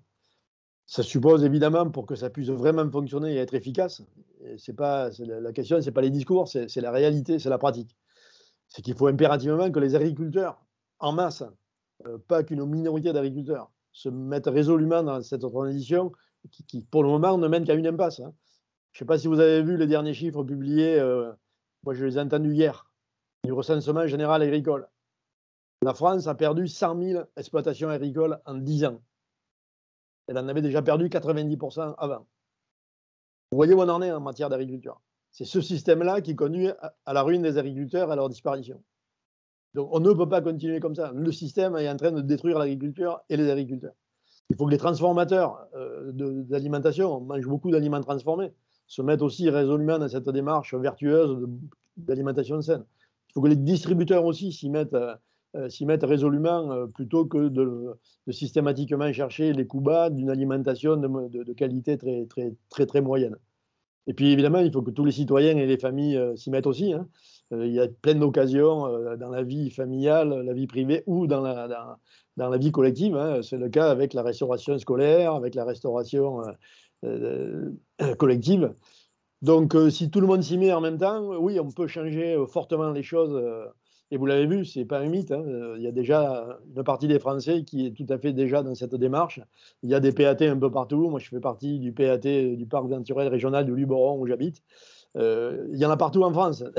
Donc, vous n'êtes pas tout seul dans votre région et bien sûr, tout le monde sera solidaire de toutes les bonnes actions que vous êtes prêts à faire. Voilà, je vous remercie de votre attention. Merci beaucoup, Denis. Euh, c'est très intéressant encore. Du coup, euh, Marie, je propose peut-être qu'on peut continuer comme ça. Je crois que vous avez plus beaucoup de diapositives. Il y en a plus voilà, ben, on termine avec vous et ensuite ben, on fera un petit temps de questions-réponses que j'imagine déjà nombreuses. Voilà. Super. Ouais, du coup, je vais passer à la slide suivante, Grégoire. C'est très bien, c'est parfait. Euh, du coup, hein, vous l'aurez compris, je, vais, je, vais, avoir un propos euh, condensé sur une, seule diapositive euh, qui vient compléter le, propos de Denis en proposant une, une, un, cadre d'approche complémentaire sur comment manger sain et durable. qui s'inscrit dans, dans, une théorie développée par, par un psychosociologue qui s'appelle Sadi Lalou, dans un ouvrage qui s'appelle Installation Theory, et qui, euh, et qui propose de, questionner la façon dont s'opère le changement des comportements individuels dans toujours cette perspective de répondre à comment en fait se mettre à manger sain et durable. Et en fait, ce qui est intéressant, c'est qu'il explique que le, changement de comportement euh, euh, dans plein de, domaines de l'existence, et ça s'applique également aux questions d'alimentation, repose sur trois piliers. C'est ce que vous pouvez voir au travers de ces trois petites bulles et c'est ce que, symbolise ce triangle. Euh, Grégoire, est-ce que vous pouvez passer à la première animation sur cette slide, s'il vous plaît? Le premier pilier euh, regroupe tout ce, qui, ressort euh, des installations dites cognitives. les installations cognitives, c'est un petit peu ce dans quoi s'inscrit ce qu'a pu vous présenter Denis. C'est ce qui ressort de l'information, des savoirs et des savoir-faire qui sont un des leviers sur lesquels s'appuient les comportements et donc les changements de comportement. C'est-à-dire que voilà, lorsqu'on reçoit de l'information, lorsqu'on reçoit euh, des savoir-faire, là je vous ai mis euh, euh, l'exemple d'un atelier cuisine qui correspond à un certain développement de savoir-faire, ou l'exemple du Nutri-Score, qui est une forme d'information nutritionnelle qui, a été, qui, a été mise en place en France sur, certaines, sur certains produits à destination du grand public. Ça vient ça vient renforcer euh, les, savoirs et savoir-faire et ça peut être un atout du changement, enfin un atout, ça peut contribuer au changement. Ce que je vous ai mis au niveau de la flèche, cacophonie alimentaire, et c'est ce que vous verrez pour les, deux autres piliers, ça peut être le biais induit par ces installations qu'il s'agit de garder en tête pour pouvoir euh, euh, penser le changement de façon pertinente. C'est-à-dire que l'information ou le développement de savoir et de savoir-faire en soi, effectivement, ils sont indispensables, mais il peut y avoir une limite, c'est cette fameuse cacophonie alimentaire qui, euh, ressort notamment euh, euh, sur les questions de l'information lorsqu'il y a un trop plein d'informations. Et l'alimentation, il semblerait que ce soit quand même un domaine de l'existence sur lequel les informations, et notamment qui peuvent être très souvent contradictoires, sont très nombreuses. il y a des gens du milieu de la médecine, il y a des influenceurs qui n'ont aucun aucun bagage scientifique qui viennent aussi donner des avis. Il y a des, modèles euh, sociétaux qui viennent donner euh, euh, des recommandations, etc. Et en fait, toutes ces, hum, toutes ces informations qui sont de plus en plus nombreuses dans, un, dans une société industrialisée comme la nôtre qui bénéficie de nombreux canaux médias peut troubler la perception d'un mangeur lambda qui n'est pas plus informé que ça sur l'alimentation sur quelle est la bonne pratique en fait à mettre en place parce qu'il y a plein d'informations contradictoires qui me sont données il y a certainement du coup une attention euh, euh, forte à avoir sur la façon dont l'information ou, les savoir-faire sont, euh, partagés pour qu'ils puissent aiguiller de façon claire les individus vers le changement de comportement souhaitable. Voilà pour le premier pilier. Le second pilier, Grégoire, je viens à la deuxième. le deuxième pilier, c'est celui qui relève des installations sociales. donc c'est tout ce qui touche aux normes, aux normes de consommation, et là en l'occurrence aux normes de consommation alimentaire, qui sont propres évidemment à chaque modèle alimentaire, avec des déclinaisons régionales selon là où on se situe. Je vous ai mis ici l'exemple d'un moment de barbecue. c'est un exemple comme quand il y en a plein, comme il y en a plein d'autres, parce que en France, ça, s'inscrit dans une norme de, convivialité. L'alimentation française est beaucoup axée autour du partage, autour de, des repas et de l'alimentation. Il peut être aussi inscrit sur d'autres normes qui sont plus implicites, des normes de genre par exemple, associées à la consommation de viande, euh, qui sont, euh, comme ont montré certaines études sociologiques, euh, associées à des formes de masculinité, de force, de, bonne santé, qui font aussi partie dans certaines régions, dans certains endroits, d'un vrai patrimoine culturel, la consommation de viande, et qui sont donc partagées par certains acteurs, certains mangeurs. Et ce qui est intéressant, c'est que ce changement de comportement, il doit aussi euh, être basé sur un changement, un changement ou en tout cas une, euh, enfin, il doit en tout cas prendre, en compte cette question des normes. Euh, je, je, vous donne un exemple. demain, on peut il, est difficile de se contenter de dire il faut que la norme ce soit de manger bio quand toute une partie de la population euh, ne peut pas se permettre, pour des raisons financières par exemple, euh, de faire de la consommation de produits bio une norme et que euh, voilà ce dont elle a, ce à quoi elle a accès, c'est peut-être de la viande, peut-être acheter euh, par le biais de filières conventionnelles parce que c'est ce qui a de moins cher et c'est ce qui reste accessible au budget et c'est ce qui permet quand même de vivre des moments de convivialité euh, au sein de la famille qui peuvent être euh, voilà, des, moments assez précieux dans des familles en situation de précarité qui vivent des, des expériences de vie difficiles. Et, et, poser sans concertation cette norme de l'alimentation saine et durable, sans concertation avec voilà, tous les publics d'un bassin de vie, peut euh, conduire à des situations d'exclusion d'une partie des populations qui ne se retrouvent pas dans, ces normes du sain et durable. Et donc, c'est pour ça qu'il y a cette question de la norme sociale à prendre en compte euh, quand, on, aborde la question du changement de comportement individuel. Euh, et peut-être le troisième pilier, si vous voulez bien, Grégoire? Le troisième pilier, c'est celui qui, euh, qui, fait référence aux installations physiques. Et donc là, on parle de l'environnement, en fait, ce qui, entoure euh, les personnes et en l'occurrence les mangeurs, puisqu'en effet, euh, il est difficile de se dire, quand bien même on aurait l'information, je sais qu'il faut manger de telle façon pour, pour avoir un comportement alimentaire sain et durable, je suis en phase avec la norme qui a été définie collectivement, mais en fait, à côté de chez moi, dans, dans ma vie de tous les jours, j'ai beaucoup de difficultés à m'approvisionner. Euh, en, aliments qui sont euh, sains et durables, et ben, ce seul biais-là peut complètement contraindre le changement de comportement. Et c'est pour ça que penser le, changement doit aussi s'intéresser à cette dimension euh, physique, ce qu'on appelle sur les questions d'alimentation en particulier les paysages alimentaires, qui s'intéressent aux disponibilités alimentaires dans un bassin de vie donné. Et il y a notamment deux, deux notions qui ont, qui ont, découlé de cette approche en termes de paysage alimentaire c'est celle de désert alimentaire euh, dans un premier temps. Ce sont des zones qui n'ont aucune offre alimentaire et c'est vrai que ça peut être le cas dans certaines euh, zones soit rurales par exemple qui n'ont pas de commerce et où les personnes sont obligées d'avoir une possibilité de mobilité pour aller s'approvisionner euh, en alimentation. C'est aussi le cas dans certains quartiers, dans des zones urbaines qui sont complètement dépourvues en commerce alimentaire.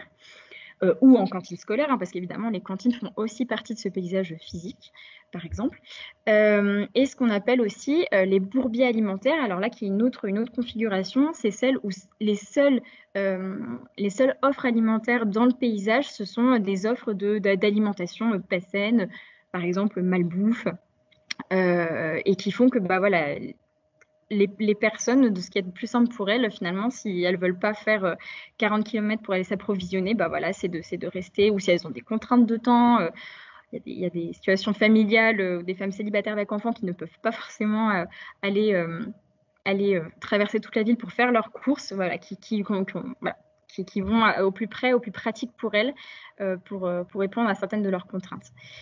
Et finalement, je peux vous donner un autre exemple pour mettre un petit peu en perspective.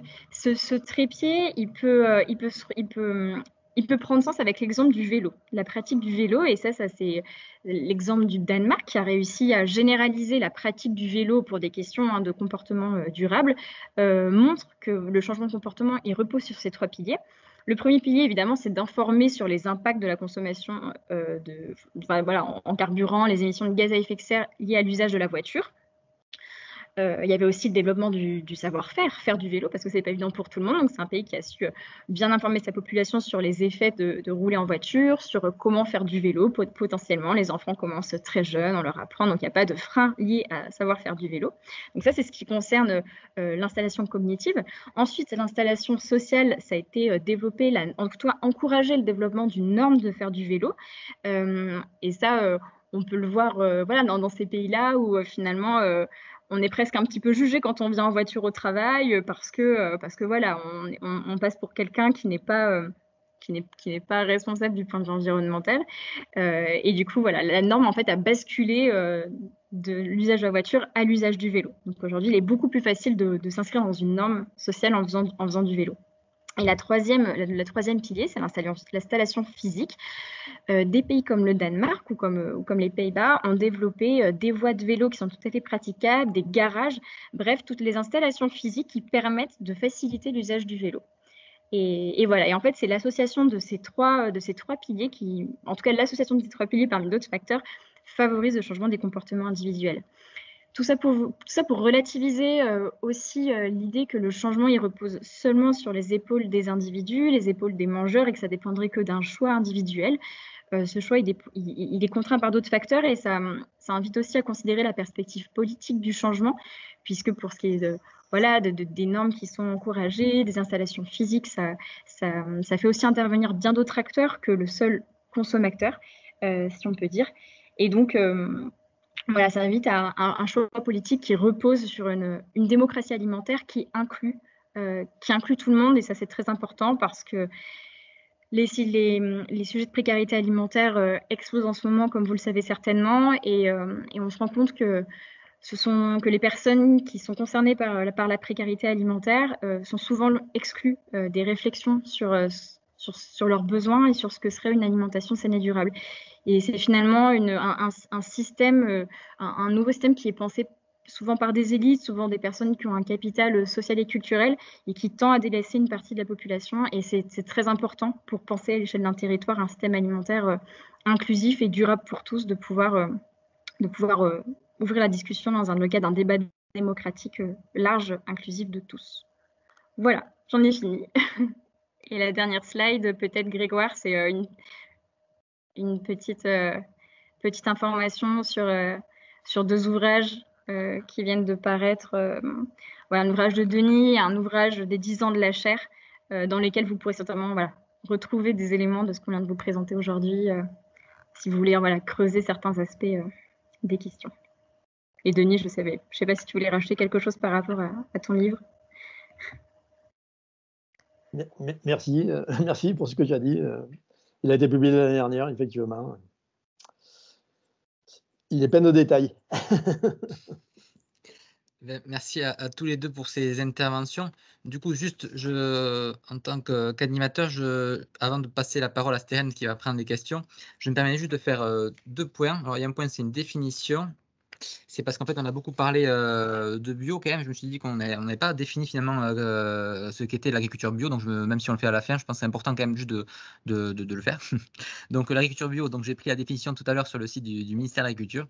C'est un mode de production qui est basé sur des pratiques agricoles qui exclut l'utilisation de substances de synthèse, en l'occurrence donc des produits phytosanitaires, euh, des engrais de synthèse et d'organismes génétiquement modifiés et limite certains intrants.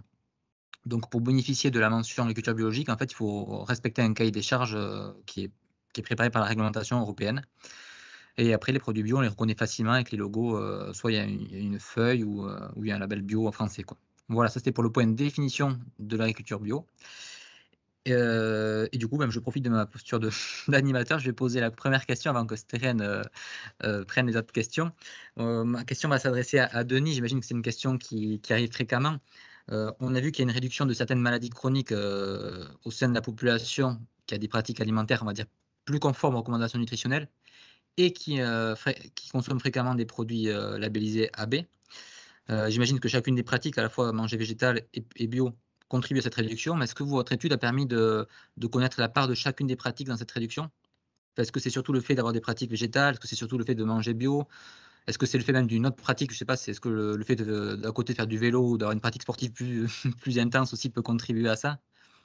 C'est une très bonne question. Alors effectivement, je l'ai évoqué très très rapidement parce que, parce que le temps était compté. Hein. Et donc, comme je vous l'ai expliqué, on prend en compte dans nos études tous les facteurs qu'on appelle les facteurs de confusion. Que par exemple, si pour pouvoir se permettre de dire que manger bio, ça a tel effet, il faut prendre en compte tous les autres facteurs dans les, dans les modèles statistiques. Euh, sinon, euh, vous ne pouvez pas tirer cette conclusion. Euh, donc, deux choses. Alors, ça dépend de, ça dépend de ce qu'on étudie. Si on regarde, par exemple, la qualité nutritionnelle de l'alimentation, il n'y a aucun effet bio, parce qu'on a une seule table de composition des aliments. Il y en a 3000 dans notre table. on sait exactement ce qu'il y a comme nutriments dans 3000 aliments. Mais c'est une table unique qui ne prend pas en compte le fait que les produits bio peuvent avoir plus ou moins de nutriments que les autres. Donc, sur l'aspect qualité nutritionnelle, c'est uniquement par le fait que les gens mangent euh, une alimentation plus végétale. D'accord? À l'inverse, sur les aspects santé, c'est exactement l'inverse. C'est-à-dire que dans nos modèles statistiques, on inclut tous les facteurs qui peuvent jouer, par exemple, sur l'obésité. Je prends le cas de l'obésité. Ça va être euh, la consommation d'alcool, ça va être l'activité physique, ça va être le tabagisme, ça va être le régime alimentaire global. D'accord? Le type de régime alimentaire plus ou moins végétal. Tout ça, c'est dans les modèles statistiques. Et à la fin, ce qui reste, c'est en gros l'effet, bio. C'est le fait que les aliments soient bio. Euh, à la réserve près, nous, dans tous nos articles, euh, on écrit toujours, il y a toujours une phrase qui dit sous réserve qu'on n'ait pas oublié un facteur de confusion, mais on ne le connaît pas aujourd'hui. Euh, c'est pour ça que nous, on a une base de données extrêmement complète. Et c'est uniquement si on a une base de données extrêmement complète sur les, individus qui participent à la cohorte qu'on peut faire ce genre de travail. Parce que par exemple, si, et, ça peut considérer, on utilise aussi le niveau d'éducation, euh, le lieu géographique où les gens habitent. Bon, tout ce qui est possible de prendre en compte et qu'on a dans la base de données, c'est pris en compte. Merci beaucoup pour cette réponse. Ben, du coup, Stéphane, je te, passe la main. Je ne sais pas si tu as pu prendre des questions. Je prends la main, Grégoire, merci. Euh, il y avait plusieurs questions euh, autour du, du, bio. Euh, que j'ai essayé de regrouper un peu, notamment la question du coût du bio et de savoir si c'est euh, si en fait dans les études c'est un peu c'est un peu compliqué, mais après euh, Marie est revenue dessus, notamment de savoir si c'était pas réservé aux classes socio-professionnelles plus. Et, et l'autre question qui était en lien, c'est de savoir si c'était pas les gens qui mangeaient bio ne faisaient pas d'autres choses en même temps que manger bio, c'est-à-dire peut-être manger moins, avoir une alimentation plus saine de base je, vais, essayer de répondre et puis je, pense que, Marie pourra, compléter. Euh, c'est une, très très bonne question, mais qui est, compliquée. Euh, c'est compliqué d'y répondre très très rapidement. Je vais essayer de faire un effort pour être concis, mais c'est pas une question simple en fait. Hein. La question est simple, mais la réponse est compliquée. Euh, oui, bien sûr, les consommateurs bio, on, l'a écrit dans X articles scientifiques, d'autres l'ont écrit aussi. Ils ne se comportent pas forcément comme ceux qui mangent pas bio. Ils fument moins, ils ont plus d'activité physique, mais tout ça, c'est dans nos modèles. C'est dans nos modèles de calcul. D'accord? Donc, euh, donc lorsqu'on se permet d'écrire et de le publier dans les plus grandes revues mondiales scientifiques, si on écrit que c'est le fait de manger bio a tel effet, c'est parce que on l'a mis. Tout ça, c'est dans les modèles. D'accord? Donc, ça complète la, réponse de tout à l'heure. Et, on sait très bien de, quoi on parle lorsqu'on présente nos résultats. Sinon, on ne pourrait jamais publier dans les grandes revues scientifiques, je peux vous le garantir. Euh, et si jamais on a oublié quelque chose, faites confiance aux, gens qui relisent les articles consommés aux revues pour nous dire qu'il faut le rajouter et qu'il faut le retester parce qu'on a oublié de le faire. Vous Donc, c'est comme ça que ça se passe. Alors, sur, l'aspect du coût, c'est une question très complexe, euh, mais, très importante. L'accès réservé à, des classes favorisées. Euh, je dirais que tout dans la société est réservé aux gens qui ont les moyens, d'accord? C'est ce qu'a expliqué Marie. Il y a une partie de, gens dans la société, ils sont exclus de la société. Ils sont exclus pour partir en vacances, ils sont exclus pour avoir un minimum de confort. Tout, le monde le sait, hein, j'invente rien. Il y a 9 millions de pauvres en France. D'accord? Donc, ça, c'est une réalité sociale. Donc, ce n'est pas la question alimentaire en tant que telle, ni la, question agricole. Donc, les aliments, ils ont des coûts différents. Lorsque vous, vous achetez du très bon vin par rapport à du vin ordinaire, vous ne le payez pas le même prix, et ça vous paraît normal qu'il ne soit pas au même prix. Même, euh, si on prétend du bon vin à 5 euros le litre, euh, la bouteille, vous, allez vous douter que c'est peut-être pas du bon vin. Vous voyez ce que je veux dire? Parce que vous savez qu'il y a un, rapport entre le prix et, la qualité. C'est ce qui se passe pour le bio en fait. D'accord? C'est que c'est une agriculture d'extrême qualité qui est difficile à faire, qui impose des contraintes, qui emploie plus de main-d'œuvre. Pareil comme l'OT contre le chômage. L'agriculture bio utilise plus de main-d'œuvre. Euh, c'est connu aussi parce qu'on n'utilise pas les produits chimiques. Donc, oui, ça a un coût supérieur. Est-ce que, ce est que ce coût supérieur, il est pris en compte quelque part? C'est pareil pour le label rouge. Quand vous achetez euh, un poulet label rouge, il est plus cher qu'un poulet qui n'est pas label rouge. Pourquoi? Parce que le cahier des charges label rouge, il impose des contraintes aux producteurs et c'est normal, c'est normal qu'il ait un prix supérieur. Donc si des gens sont exclus dans la société pour des raisons euh, socio-économiques, la responsabilité, elle est au pouvoir politique. Je vous donne l'exemple. Je reviens à l'agriculture. Qu'est-ce qui s'est passé là pour la révision de la PAC? Je pense que les agriculteurs qui nous écoutent euh, connaissent bien, bien, bien, ce qui s'est passé. L'Union européenne, la Commission européenne, a fait un rapport qui s'appelle De la fourche à la fourchette. Pour la première fois en Europe, c'était les recommandations pour la nouvelle PAC, pour tous les États de l'Union européenne. Les deux mots-clés, c'était passer à 25% de surface agricole utile en Europe en bio. Pas en agroécologie, en bio. Réduire de 50% à la fin de la prochaine PAC l'utilisation des pesticides. C'était la position officielle au départ pour la révision de la PAC de, la Commission européenne. Et qu'est-ce qu'a fait la France pour la réforme de la PAC Qu'est-ce qu'elle dit? La politique nationale française de la PAC Elle ne dit pas un mot sur le bio, si ce n'est que pour le comparer au HVE, euh, comme si c'était la même chose. Donc, donc là aussi, ça, montre clairement qu'il y a un problème de responsabilité politique, de décisions qui sont prises. Est-ce qu'un jour, la bio a vraiment été aidée financièrement? Il y a quelques miettes de la PAC, quelques miettes de budget agricole français qui est donné pour développer la bio. Euh, ça, la France a été pendant très longtemps à la traîne complète en Europe pour le développement de la bio. On a rattrapé ce retard dans les dernières années, mais on a été très très loin. Et, on le voit bien, la politique française aujourd'hui en matière agricole, elle ne soutient pas du tout la bio. Elle a même supprimé les aides directes aux agriculteurs bio. Alors qu'on continue toujours à aider les plus gros agriculteurs, les plus industriels, et c'est ceux qui ont le plus d'impact, comme, comme, on en a déjà discuté. Donc, donc c'est un problème politique, c'est pas un problème de. Je vous dis, il y aura toujours des gens plus riches et des gens plus pauvres. La question, c'est que ceux qui sont plus pauvres, on peut les aider qu'ils soient agriculteurs, qu'ils soient consommateurs, qu'ils soient. Vous voyez, là, on a décidé qu'on allait donner 100 euros à, tous les gens qui ont des revenus limités euh, parce que l'essence avait augmenté. Euh, vous avez déjà entendu dire qu'on allait augmenter pour que les gens y mangent plus de fruits et de légumes Moi, ça fait 20 ans que, nous, en tant que scientifiques, on le demande. 30 ans, ça, qu'on le demande. Vous avez déjà vu une aide pour euh, la consommation de fruits et de légumes? Nous, on n'en a jamais vu. C'est un choix politique. Hein euh, par contre, les aides à la viticulture, là, je peux vous dire que c'est pas ce qui manque. Hein. Et je pense pas qu'il y ait beaucoup d'aides non plus pour l'élevage des moutons euh, euh, dans votre communauté de communes. Vous voyez ce que je veux dire? Et, c'est la même question. Quoi. Qui, qui en aide et, qui prend les décisions? Et c'est des choix politiques.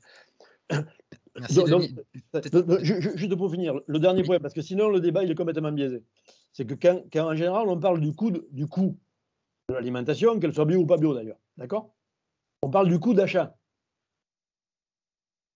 Le coût d'achat, c'est en gros un tiers au maximum. C'est sûrement moins du vrai coût que paye le citoyen. En tant que consommateur, vous allez acheter votre alimentation, vous payez un certain coût. En tant que citoyen, à cause des coûts sur la santé et des impacts sur l'environnement et les ressources, vous payez deux fois plus que le prix d'achat. Ça a été calculé dans un rapport de la Fondation Rockefeller ce n'est pas un repère d'écologistes, la Fondation Rockefeller aux États-Unis. D'accord? Ils ont publié le rapport cette année. Si vous allez sur leur site, vous tapez Fondation Rockefeller sur Internet, vous, aurez accès à leur rapport. Ils l'ont calculé. Et le BBF, au niveau international, va bientôt publier un rapport aussi sur le. Ça s'appelle le vrai coût de l'alimentation. Donc ce coût-là, de toute façon, il est payé. Et il est payé par les pauvres aussi. D'accord? Il est payé par les impôts, il est payé par, par les cotisations sociales. Donc si on veut sérieusement parler du coût, il faut parler de ça. Et, si on veut sérieusement changer le système, c'est la conclusion du rapport de la Fondation Rockefeller. Il faut absolument prendre le vrai coût en compte. Et le vrai coût, ça veut dire réduire les pollutions, ça veut dire réduire les impacts sur la santé. Nous, à partir des chiffres de, nos études, si on les traduit en chiffres, les réductions de pathologies qu'on a montrées, c'est au moins 20 milliards par an en France d'économie du système de santé. D'accord? Je peux vous dire qu'avec 20 milliards, vous allez aider les agriculteurs à faire du bio euh, et à réduire les pesticides. Hein. et vous en aidez des pauvres à pouvoir manger un peu mieux et manger plus bio. C'est un choix politique aussi. Je m'excuse, j'étais un petit peu long, mais, c'est une question super importante et on ne peut pas la traiter euh, euh, superficiellement, sinon on est, à côté, on est à côté de la plaque. Non, c'est très clair. En disant qu'effectivement, hein, ce, ce que dit Denis, euh, moi j'abonde complètement. Il y a un vrai coût d'alimentation à prendre en compte et il doit être pris en compte dans le cadre finalement d'un nouveau contrat social lié à l'alimentation qui est, qui, inclusif, qui inclut à pas de tous et qui est basé sur un fonctionnement démocratique, une approche démocratique de nos systèmes alimentaires. Ben, merci. Du coup, là, vous m'avez fait une très bonne transition euh, vers euh, une initiative locale euh, qui est coordonnée par le GEDAR. Donc, je vais passer la main à Lolita Guillon. Si Lolita, tu es connectée. Oui, je suis là. Je ne vais pas pouvoir rester en vidéo. Bonsoir. Je mets la vidéo deux minutes pour, pour me présenter. Après, vu la connexion, je, je préfère ménager en vidéo. Ok, bah écoute, je te, laisse la main. Tu nous présentes un petit peu bah, déjà le GEDAR, euh, le défi famille alimentation positive et un petit peu bah, ce, que, ce que vous avez fait. quoi. Ça te va? Oui. Oui, très bien. Donc, euh, donc Lolita, je m'appelle Lolita, je travaille pour le GEDAR Provence d'Azur. Donc c'est euh, une association qui réunit essentiellement des agriculteurs là sur notre territoire. Donc on mène plusieurs projets collectifs agricoles. Donc on a été à l'initiative de la maison de pays Montagne Paysanne à Puget-Ténier. Euh, avec le syndicat agricole également qui est basé à Puget-Ténier. On a également un projet de pressoir mobile euh, pour euh, voilà, que les habitants du territoire et les agriculteurs puissent presser du jus avec des fruits localement. là, on est sur un autre projet pour essayer de réintroduire justement les céréales et les légumineuses localement dans un souci d'autonomie alimentaire. Et puis pour travailler aussi avec les familles en fait localement, on a lancé, euh, donc, euh, comme le disait Grégoire, un défi foyer alimentation positive. J'ai vu euh, dans le, chat que Montsartou parlait également de, cette expérience-là. Donc là, nous, c'était aussi l'idée de travailler pas uniquement avec les, agriculteurs et le monde agricole, mais d'essayer de travailler aussi avec les consommateurs. Voilà. Donc, euh, donc pour ceux qui ne savent pas ce que c'est que le défi foyer alimentation positive, en fait, c'est un, projet qui a été lancé par la FNAB au niveau national, donc euh, la Fédération nationale de l'agriculture biologique, et qui consiste en fait à accompagner euh, bah, des consommateurs, des familles du territoire vers une alimentation, on va dire, plus, plus bio, plus locale, plus de saison. Donc, on va essayer de leur donner un peu des outils et des réflexes justement sur, sur des façons de consommer. Voilà. Euh, pour le principe. Et euh, nous, ici, localement, donc euh, le GEDAR coordonne le, défi foyer alimentation positive sur le territoire de la communauté de communes. Et en fait, on travaille en lien avec trois centres sociaux. C'est vrai que nous, on est à la base plutôt en lien avec les agriculteurs. Et donc, pour vraiment être en lien avec, avec les consommateurs et les familles, on travaille avec les centres sociaux du territoire. Donc, dans l'Esteron avec Bulder, euh, à Puget-Ténier avec euh, le cépage et à Guillaume avec euh, l'épi, voilà, qui sont trois centres sociaux. Et donc là, ça nous a vraiment permis de recruter des, familles ou des foyers d'une grande diversité sociale, on va dire. Donc, on a, on a, voilà, pour cela, on a des équipes vraiment très hétérogènes, et donc c'est assez intéressant. Et c'était quoi du coup, Lolita, les motivations, en fait, les attentes et les motivations des familles qui se sont inscrites au, à ce défi? Bah, en fait, on, s'est rendu compte que finalement, il y avait pas mal de, bah, de, participants qui connaissaient pas tellement les producteurs locaux. Donc, il y avait vraiment cette envie justement de, mieux connaître les producteurs locaux, puis les lieux de vente aussi des produits locaux. Et puis, il y avait aussi euh, une envie de changer vraiment les pratiques euh, euh, alimentaires et puis de le faire en fait, de, se motiver aussi à plusieurs, pas de le faire uniquement dans son coin. Et puis, euh, il y avait aussi une question, la question un peu écologique, euh, on va dire, sur le, zéro déchet qui est aussi pas mal ressorti. Et après, euh, comme je le disais, donc on a, vraiment du coup une grande hétérogénéité dans les participants. On a, on a par exemple des, esclaves de la cuisine pour familles nombreuses exigeantes. On va avoir bah, des adeptes de la malbouffe, mais qui souhaitent aussi faire un peu évoluer leur comportement alimentaire. On va avoir des personnes justement avec très peu de moyens de la banque alimentaire. Mais qui sont aussi curieux de voir s'il est possible justement de manger mieux à petit budget ou à budget constant. et puis voilà, on va par contre avoir également, on va dire, des experts du bien manger, mais qui veulent aller plus loin aussi, des jardinophiles qui vont du coup aussi nous apporter un petit peu leur, leur savoir-faire sur, sur bah, comment, comment cultiver aussi son jardin à côté de chez soi. Et puis, puis voilà, il y avait aussi quelques personnes qui venaient parce qu'ils avaient, ils souhaitaient perdre du poids, par exemple. Et puis, bah, pour eux, c'était une façon aussi de se motiver en fait dans cette démarche-là. Euh, voilà, des amateurs de nouvelles recettes qui venaient aussi pour apprendre en fait euh, comment cuisiner euh, un peu différemment. Je ne sais pas si vous connaissez le mouvement des cuisines nourricières, je pourrais vous envoyer le lien dans le chat, mais du coup, nous, on est en lien avec ce mouvement-là, qui, qui, du coup est une cuisine alternative qui essaie justement d'alterner le végétal et l'animal, mais de vraiment essayer de, plutôt que de suivre des recettes toutes faites, de réapprendre en fait à cuisiner euh, autrement, en, euh, réintroduisant justement euh, les céréales complètes, les légumineuses dans, pas mal de plats. Voilà, donc c'est un mouvement qui était à l'initiative de Gilles Davot. Donc c'est vrai que nos cours de cuisine sont pas mal centrés sur ces mouvements-là. Voilà. Et du coup, concrètement, fait, concrètement qu'est-ce que c'est un défi Fab en termes de fréquence, d'atelier, de durée c'est, Tu peux dire en deux mots peut-être?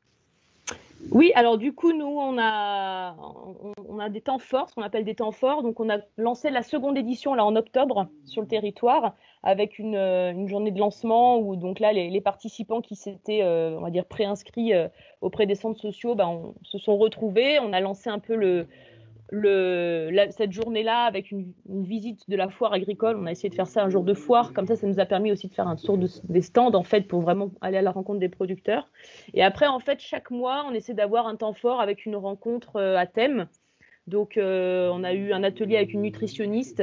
Euh, là, on a un atelier cuisine nourricière, justement, avec une, une cuisinière qui est dans les, dans les mouvements de cuisine nourricière qui aura lieu ce samedi. on va faire des visites de fermes et des lieux d'achat. Et euh, donc, voilà, après, on, va aussi avoir d'autres ateliers en fonction des attentes des participants. Donc là, on a prévu de faire un atelier jardinage, par exemple. Euh, l'année dernière, on a eu des ateliers jardinage, euh, bah, notamment pour la banque alimentaire. On a, a, fait un jardin dans les jardins partagés, ce qui a permis du coup après de fournir un peu plus en légumes la banque alimentaire également. Et puis bon, on, fait, on essaie également de faire un peu des, enfin, de faire venir des spectacles euh, et puis des, euh, des, animations aussi pour, euh, pour les jeunes publics. Donc là, on va faire venir le spectacle Manger de la compagnie Zygomatique. Je ne sais pas si vous connaissez, qui est voilà, une compagnie qui est assez renommée nationalement et qui a vraiment réussi, je trouve, avec leur, leur savoir-faire, vraiment bien transmettre voilà, cette, cette, question de l'alimentation bio, durable, avec beaucoup d'humour. Voilà pour ça. Et euh, que dire d'autre? Sinon, bah voilà, c'est vrai que les familles, on essaie de, entre les différents temps forts et les différentes rencontres, on essaie de garder une sorte de lien avec eux. Et donc chaque semaine, on envoie un petit message euh, avec un mini défi hebdomadaire. Donc que ce soit sur euh, essayer de cuisiner par exemple des pois cassés ou redécouvrir une recette avec du, butternut ou ou essayer de faire une semaine sans supermarché. Voilà, on essaie de faire des, des mini défis comme ça chaque semaine pour essayer d'entretenir le lien avec les familles. Et du coup, Louis, c'est quoi les perspectives? Est-ce que vous avez des pistes d'ouverture? Je veux dire que bah, au-delà du défi avec les familles, est-ce que vous avez des actions qui s'organisent? Euh, bah, du coup, là, on est en train de travailler avec euh, plusieurs, euh, bah, avec les adhérents du GEDAR, à essayer de faire une, voilà, une commande, des commandes groupées, parce que c'est vrai que la difficulté, comme le disait Marie, en fait, ici, c'est qu'il y a voilà, des, des, pareil, parfois des difficultés à s'approvisionner. C'est vrai qu'ici, euh, comme vous le savez, euh, pour la plupart des participants qui, qui connaissent le territoire, euh, ici, c'est vraiment pas évident en fait de s'approvisionner en produits bio ou locaux parce que bah, les distances en fait d'un endroit à l'autre sont parfois importantes. Et c'est vrai que bon bah oui, il y a le point de vente collectif à Puget-Ténier, mais c'est vrai que quand on habite par exemple à Antrone et qu'il faut une heure et demie ou deux heures de route pour aller faire ses courses, c'est toujours un peu la mission en fait. Euh, et donc, bon, dans des foyers d'ailleurs qui participent, on va avoir des gens qui sont vraiment euh, géographiquement très éloignés les uns des autres. Donc là, on essaie de mettre en place euh, une commande groupée via la plateforme Relais Vert pour essayer justement d'aider de, de, en fait l'approvisionnement en produits bio. Donc, ce qu'on a fait en fait, c'est que bon, Relais Vert, c'est une grosse plateforme avec un catalogue de 3000 pages Euh, L'idée, c'est pas non plus de concurrencer les produits locaux, bien évidemment, parce que nous, le défi est vraiment axé sur justement aussi le retour aux produits locaux et de saison. Euh, mais c'est justement de pouvoir proposer en fait au foyer euh, et puis aux gens du territoire, on espère aussi à plus large échelle ensuite, des produits bio qui seront du coup également en gros, pour aller aussi dans cette démarche du zéro déchet que mène aussi la communauté de communes, parce que c'est quelque chose aussi qui, touche en partie les, participants.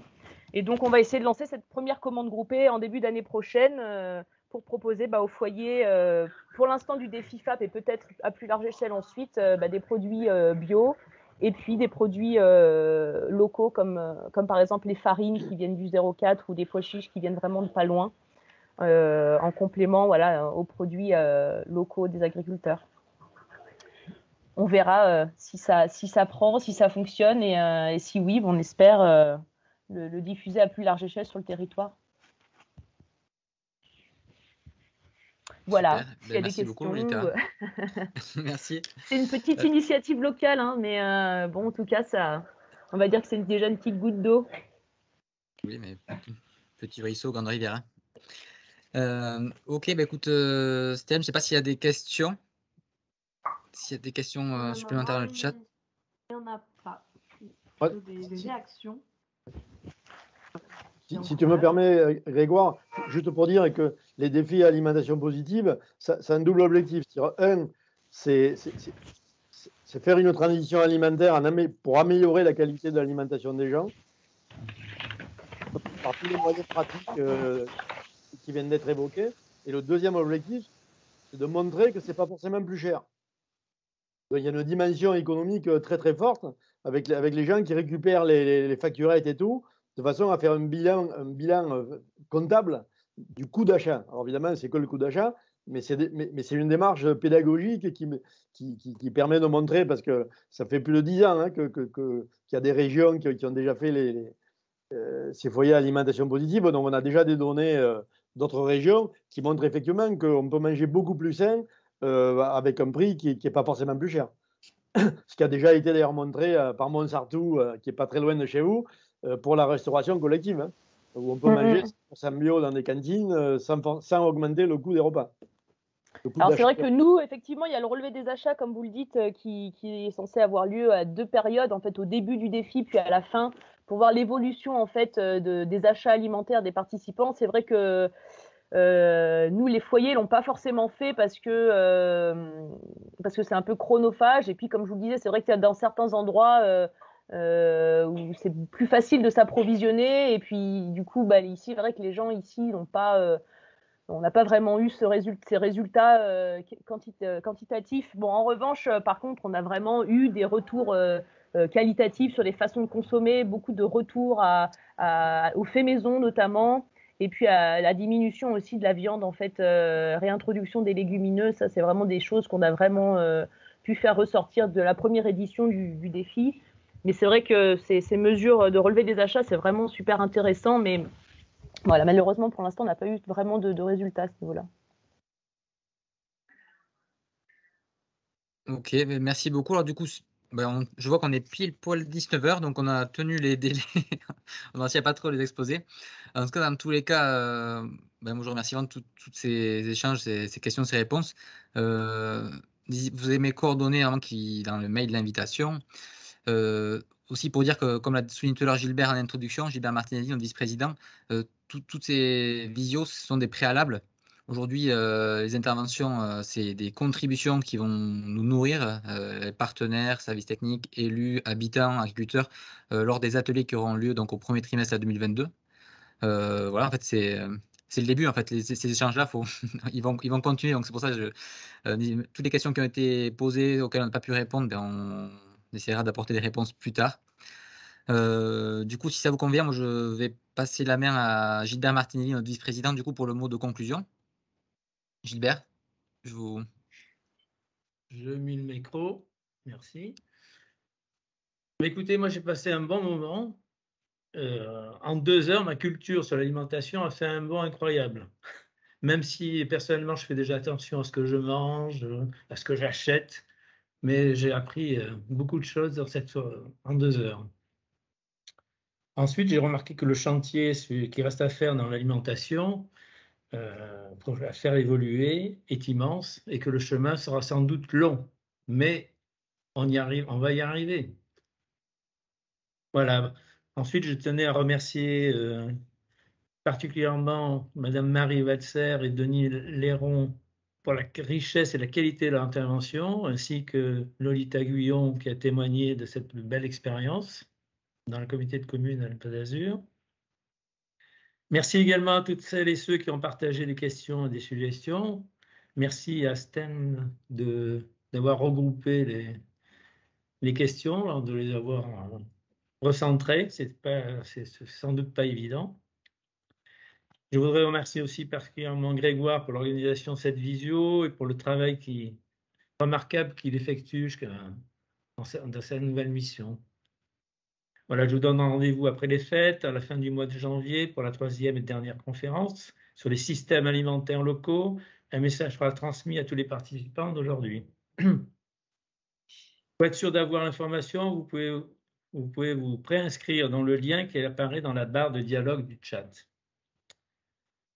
Voilà, je vous souhaite une bonne soirée. Je vous souhaite également de profiter de ces fêtes de fin d'année et un joyeux Noël avec vos familles malgré les, circonstances actuelles.